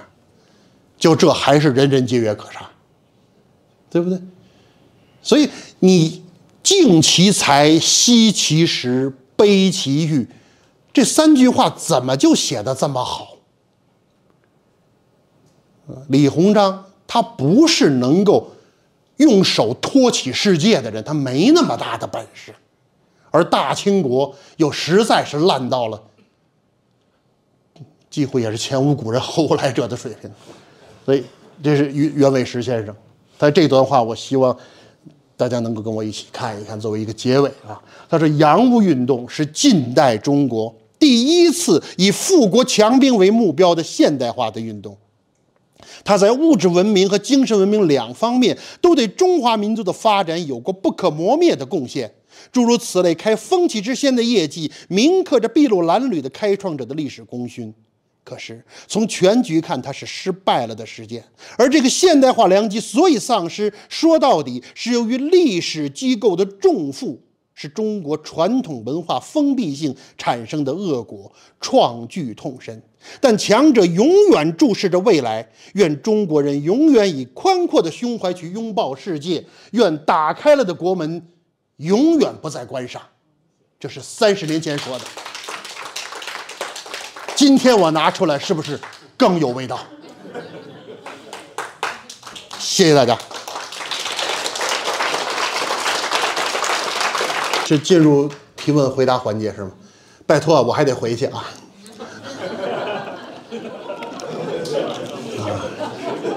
我我还得回去，所以各位嘴下留情。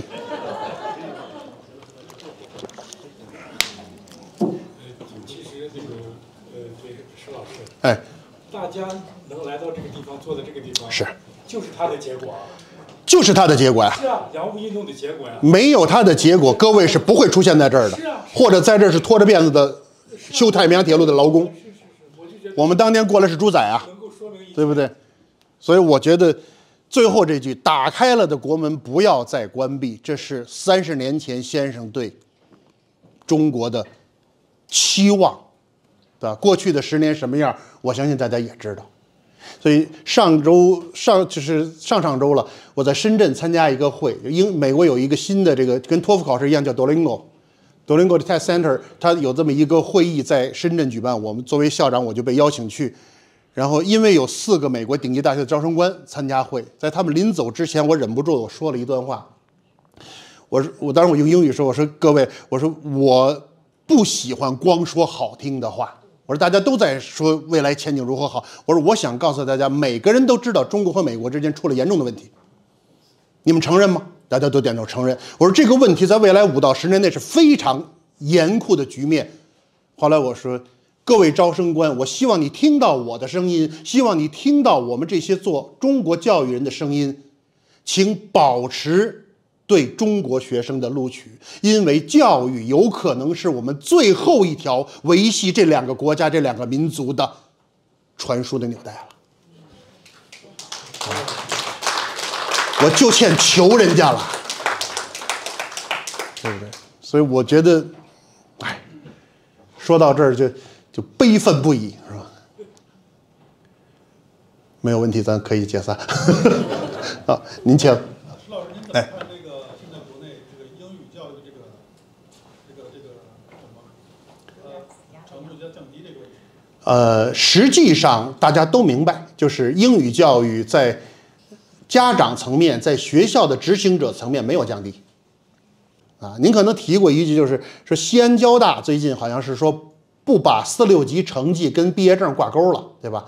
没任何关系，因为四六级成绩什么都不是，什么都不是。我招聘的老师，哪怕他是中教，我要求他有双语工作能力的，我会看他有没有英语专业八级，专业六级我都不要，只有中国的专八才能勉强达到我的双语老师的水平。大学本科的四六级 nothing，你知道，就就是我我这水平我都十二级以上，啊，所以我就是他把这个跟毕业证取消没任何问题，最好把托福什么的搁上。啊，托福、SAT 什么的搁上，那那那个就管用了啊。所以这个呢，呃，不用太介意啊。老百姓心里明白，老百姓知道我们为什么到今天还得学英文啊。那些不想学的，或者说他没有机会再学的，也可能是人家有自己的想法吧，对吧？这个这股势力也确实挺强的。不是有人说取消英语，改练武术吗？哇塞，中国板砖破武术，这这这又打遍世界了是吧？成天黄飞鸿这个，啊，最最后最后这这都成大师级别的了啊！您您接着来。啊，就是说，呃，我们现在可能大家多数人都想，呃，国内不让学英语，就是把英语这个程度降低，是为了让大家尽量少看一些国外的东西。呃，因为国内应试教育嘛，是不是也有很多家长就是把英语的这个学习这个强度就降下来，甚至有很多学生不学英语。那这样会不会造成多少年以后，我们能出来留学的人越来越少？首先基数很大，对吧？基数在这儿摆着，所以短期内不会说出现好的美国大学招不到学生的情况。只要他肯招，就中国人一定会有大量的愿人愿意出来的。这个这个打开国门四十年了，想关上也没那么容易啊！就就就就前前昨天还前天的事儿，是这不日本这个核核核污水不是全国人民声讨吗？跺脚骂吗？然后这一开关去日本的东京机场爆满。百分之九十中国人去吃什么？吃海鲜嘛？你看，对不对？就这些，就中国人民心中其实绝大多数人至少是有一点点最起码的认知的，很简单的，就是你如果英语不好，你就天生是一缺心眼儿，因为你的信息来源就固定了嘛，对吧？天天晚上看新闻联播的，那是一种客观存在，那种奇葩的存在，对吧？那你所以。那就不用跟他去较真，你们都对啊，你们就是好，就是好，就是好就完了。然后我该学什么学什么。那你怎么看这个学英语跟文化自信这个这个事儿？学英语一点不当文化自信啊。那我就原来就是，也是我们北京一个一个挺有名的一个历史老师，也这是我师哥，我亲师哥。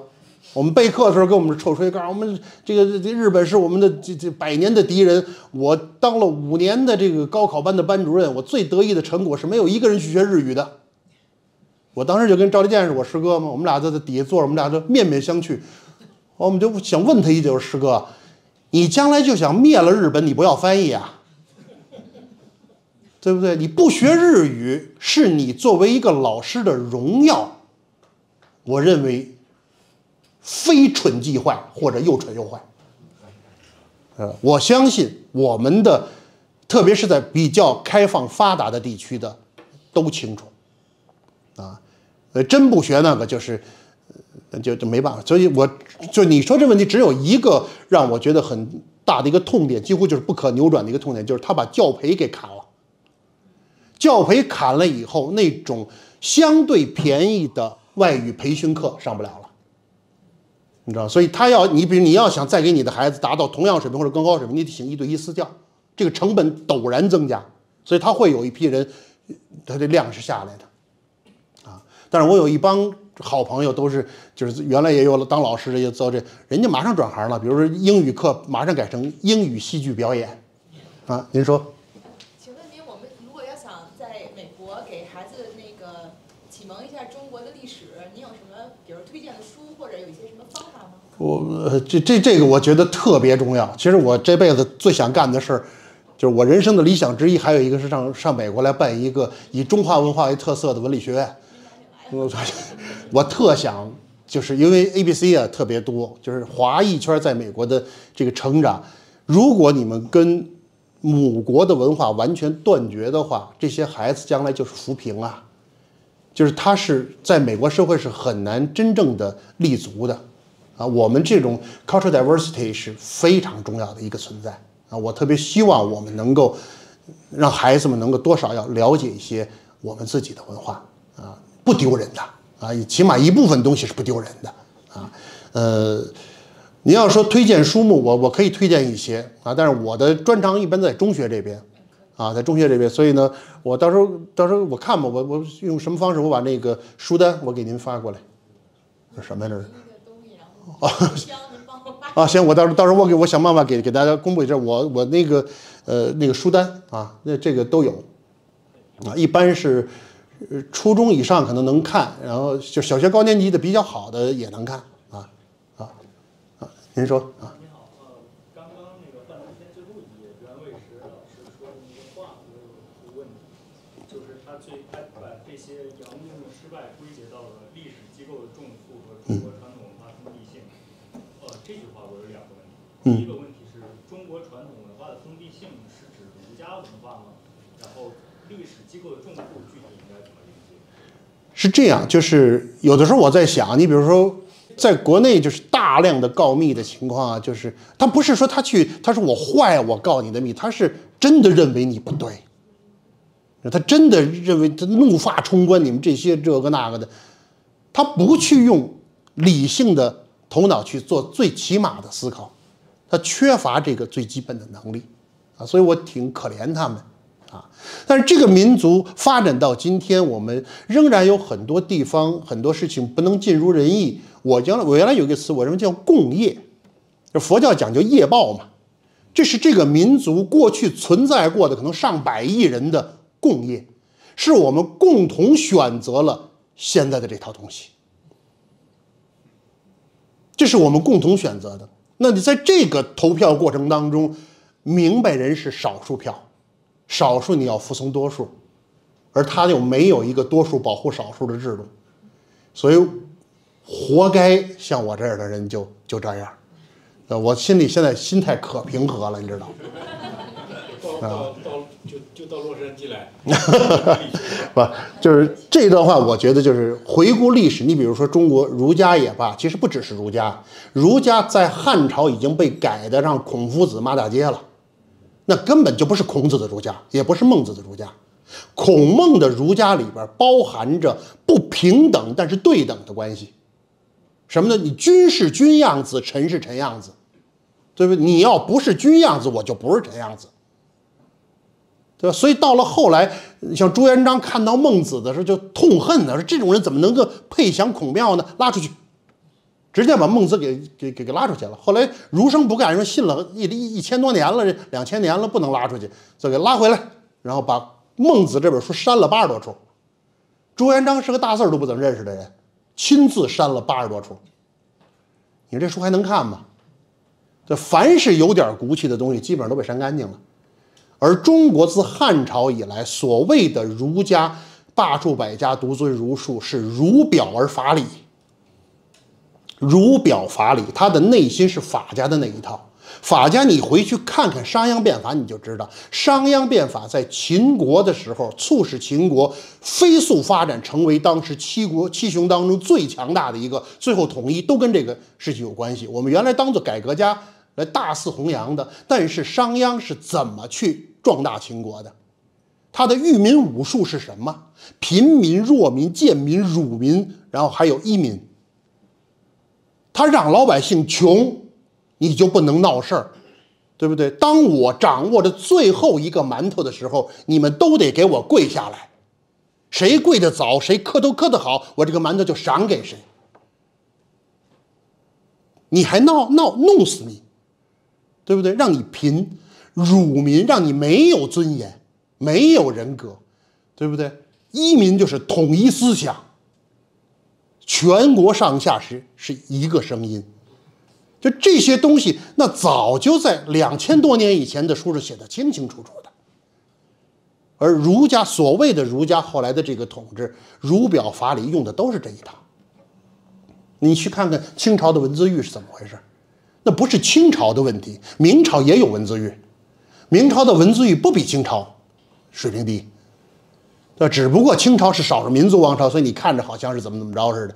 其实朱元璋的这个这个血统里边、基因里边有大恶存在，因为他不是贵族出身，他没有受过良好教育，他是一个底层革命者。凡是底层革命者，都血呼呲啦的，你知道都血乎呲啦。你去看，就是中国，咱不说别人，中国古代这个朝代改换。开国皇帝如果没有不是前朝贵族的话，基本上都会属于这种暴力的本性，杀功臣。这刘邦是不是？刘邦是居委会主任，对吧？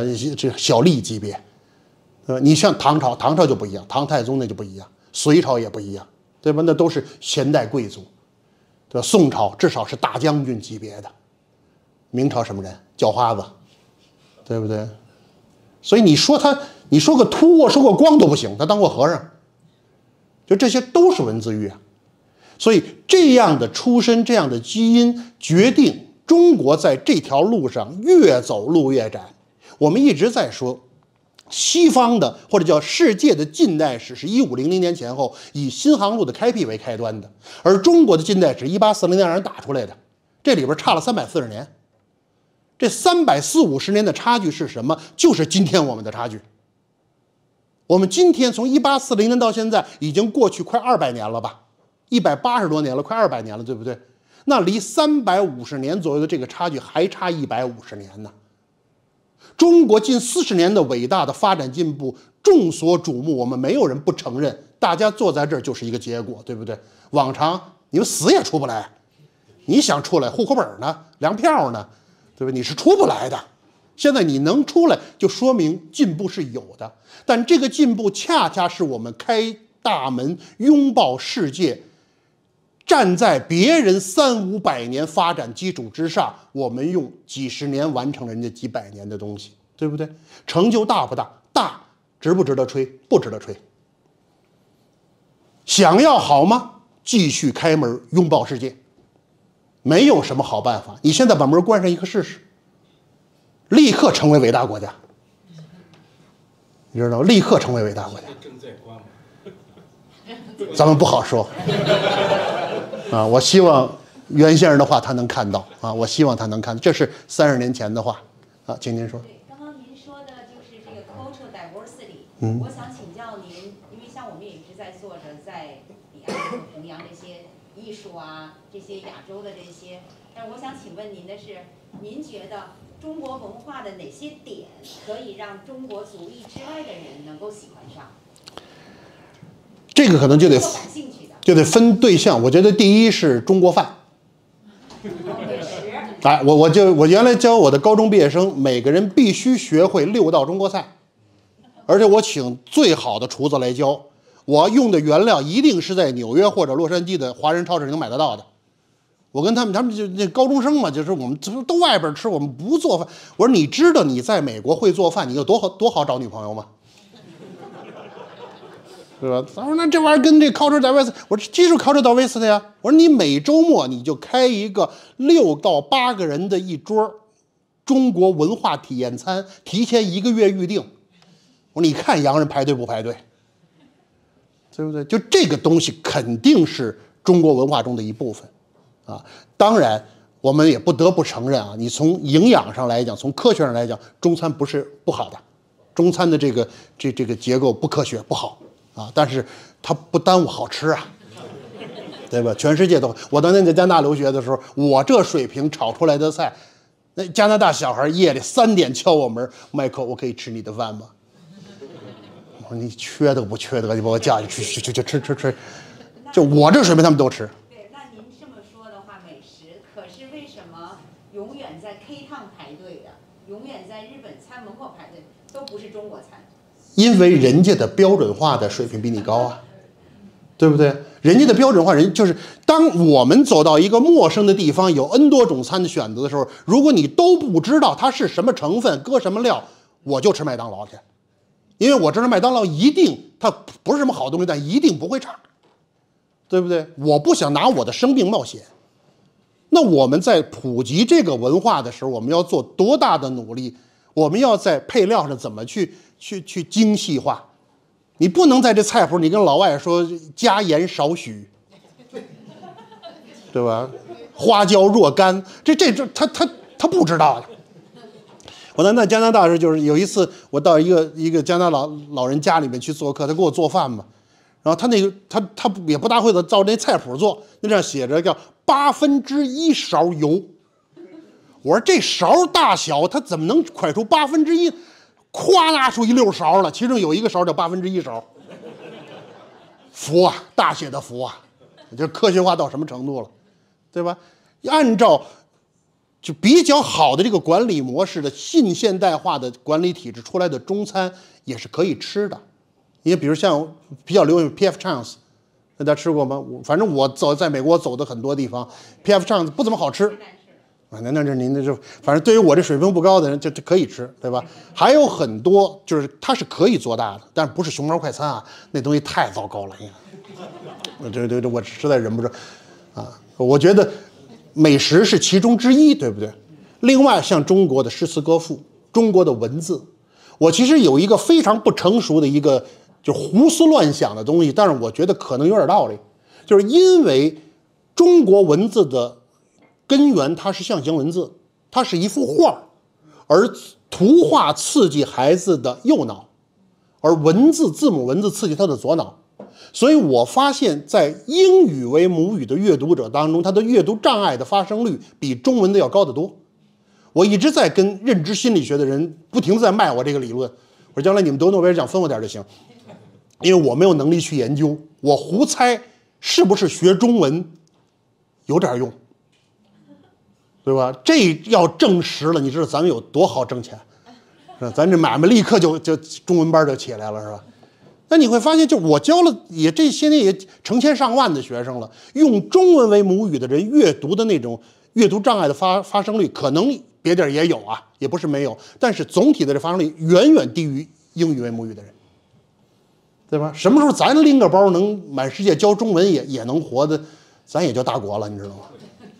对吧？就这个是一个胡纯胡扯，因为我我没有能力去研究。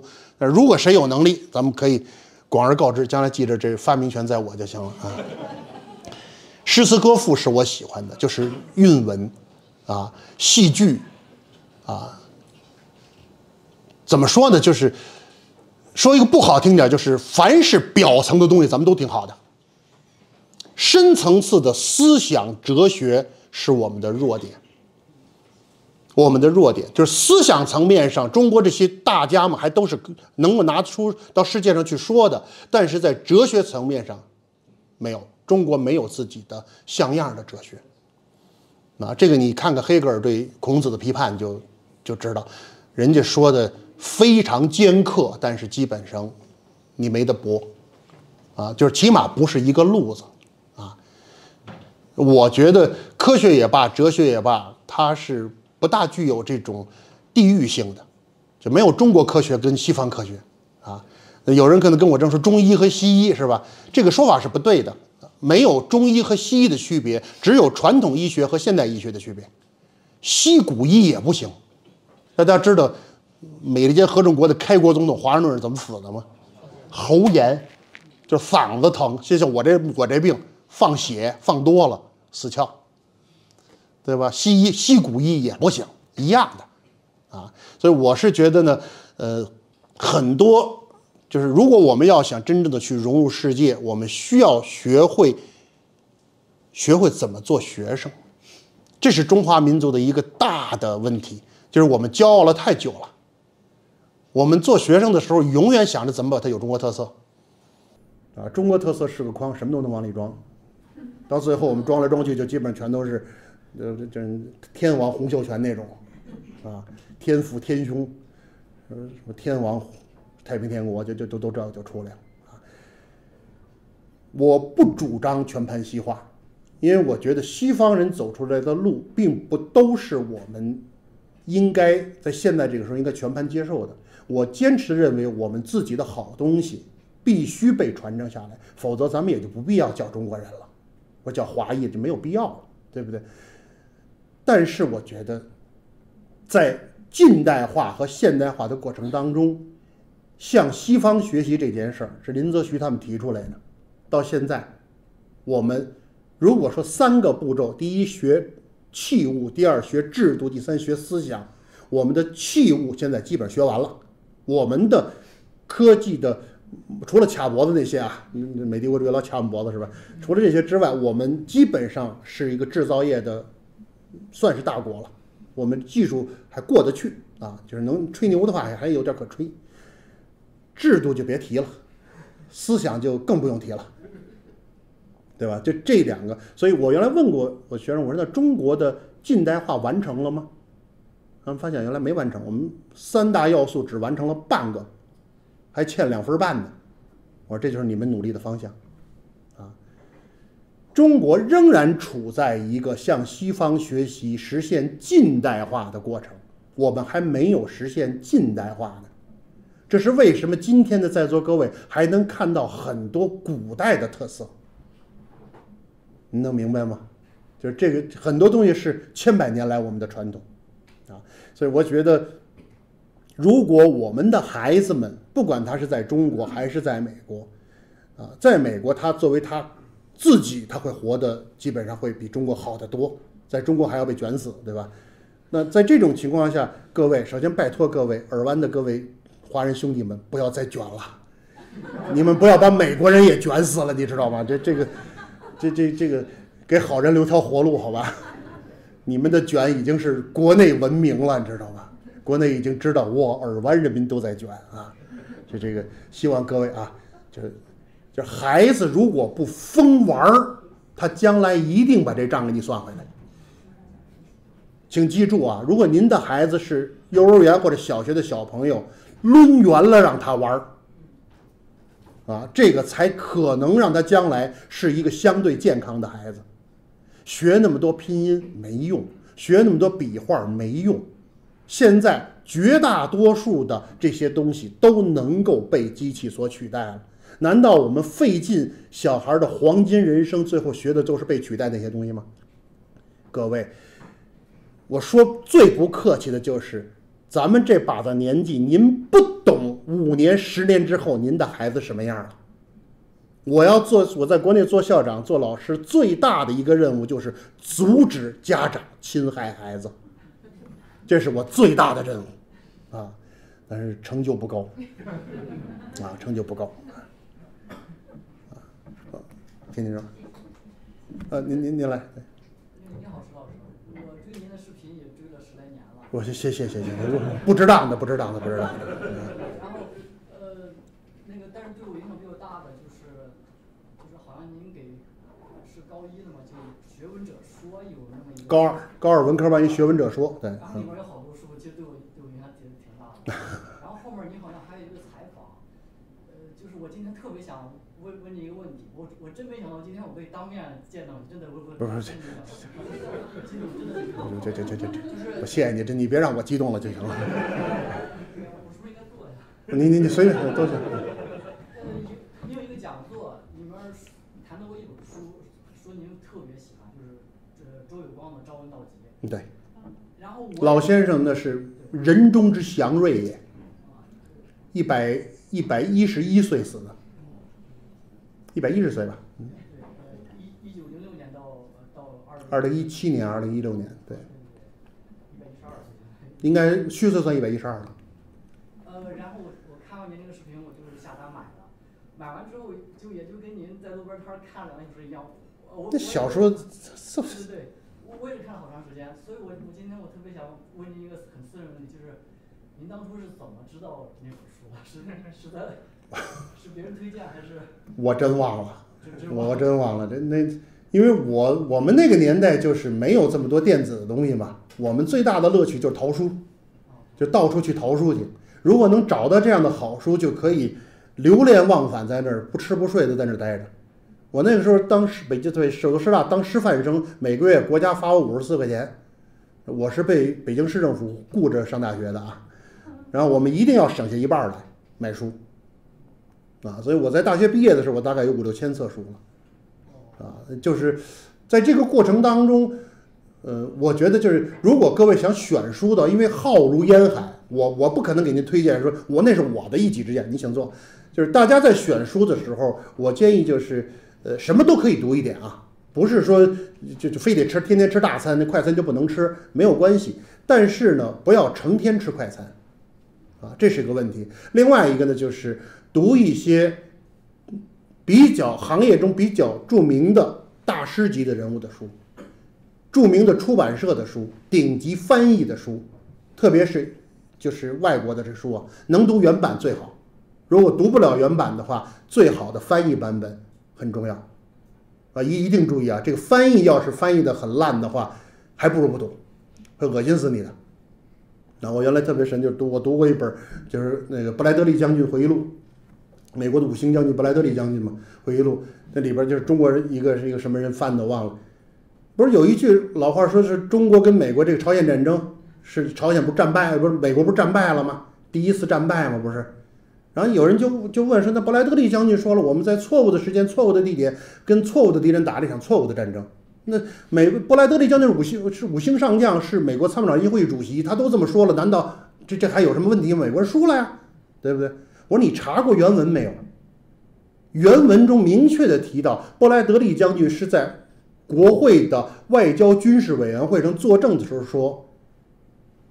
说 this strategy would involve us in the wrong war with the wrong enemy at the wrong place and 呃、at the wrong place at wrong wrong time with the wrong enemy。这四个 wrong 说在是 this strategy would involve us。什么叫 would？ 对不对？虚拟语气还没发生，对不对？this strategy 是什么？是麦克阿瑟说的，用核武器轰炸东北。人家什么时候说我们打败了？对吧？这个话说出来，他用了四个 wrong。当时美国记者就是直接质问他：“你是不是认为我们打败了？”那是一九五一年，战争到一九五三年才最后停战，对不对？后面还打了两年多呢，对吧？就这种东西在那本书里被翻译，就是他都翻译出来了，说呃麦这这个布拉德利将军说了，我不是那意思。然后这个是有什么前提，他全都翻译出来了。前言说。说美国参谋长联会议主席布拉德利将军说：“说我们在错误时间、错误地点、错误错错，所以美国人是认输了。”我在那本书的批注上写：“这书是你翻译的吗？你看过吗？你要看过，不至于在前言再写这个吧？”但这句话是关关于朝鲜战争，可以说是在中国流传最广的一句话，对不对？因为我们终于打败美帝国主义了，对吧？美国用了大概是。呃，三分之一的陆军，八分之一的海空军，人家根本就是重点在欧洲，对不对？我跟大家讲讲冷战的局势，冷战中的热战发生在哪儿？不重要的地方，因为重要的地方那就是世界大战了。你试试欧洲、美国跟苏联对抗起来，那就是第三次世界大战，对不对？但是热战打在哪儿呢？打在朝鲜，打在越南，说白了就是打着玩儿。你压根儿就不是战略重点，还真把自个儿当回事儿呢。嗯，冷战中的热战，美国没有倾其全力去打。当然，他也没有意料到说一九五零年中国就敢成百万舰只的派兵，对吧？也确实吓了麦克阿瑟一跳，老将军晚节不保，是吧？那单说，但是美国的政策，你今天去发现所有的解密档案，没有任何一条是借着这事儿他要侵略中国的，没有，对吧？你不能要求说当时的党和国家领导人就认识到这一点就不做防备，他做防备是对的，他出兵也可以理解，但是你不要认为我们有足够的道理，甚至我们还打赢了，那不就是自娱自乐呢嘛？对吧？所以我想。就是有几个数据你可以想，为什么我们打到三七线的时候不停止，最后签约的是三八线，这一个纬度发生了什么？我们要打赢应该打三六线去，对吧？应该按照中国人民志愿军的豪言壮语，一泡尿把美帝国主义滋太平洋里去，这不都是咱亲口说过的吗？对吧？但是为什么后来回到三八线去打去去谈？那就是因为李奇岳把你打回去了嘛，第一个维度是被被人打回去的呀。对吧？这些不能细说了。拿个例子来举，就是好的翻译极为重要，啊，好的翻译极为重要啊。所以我想各位在选书的时候，呃，用这些作为 reference 吧，作为作为参考吧，啊，它不必然导致好书，但是可以过滤掉绝大部分的坏书，时间是不是差不多了啊？不好意思，就是由于时间关系，我们需要九点半之前，哦，就是必须要离开这个场地。那我们就不好意思，今天的问题就到此结束。抱歉，嗯抱歉，抱歉没。问题，没问题。好，非常感谢石老师的精彩分享。谢谢各位，谢谢各位，谢谢，谢谢。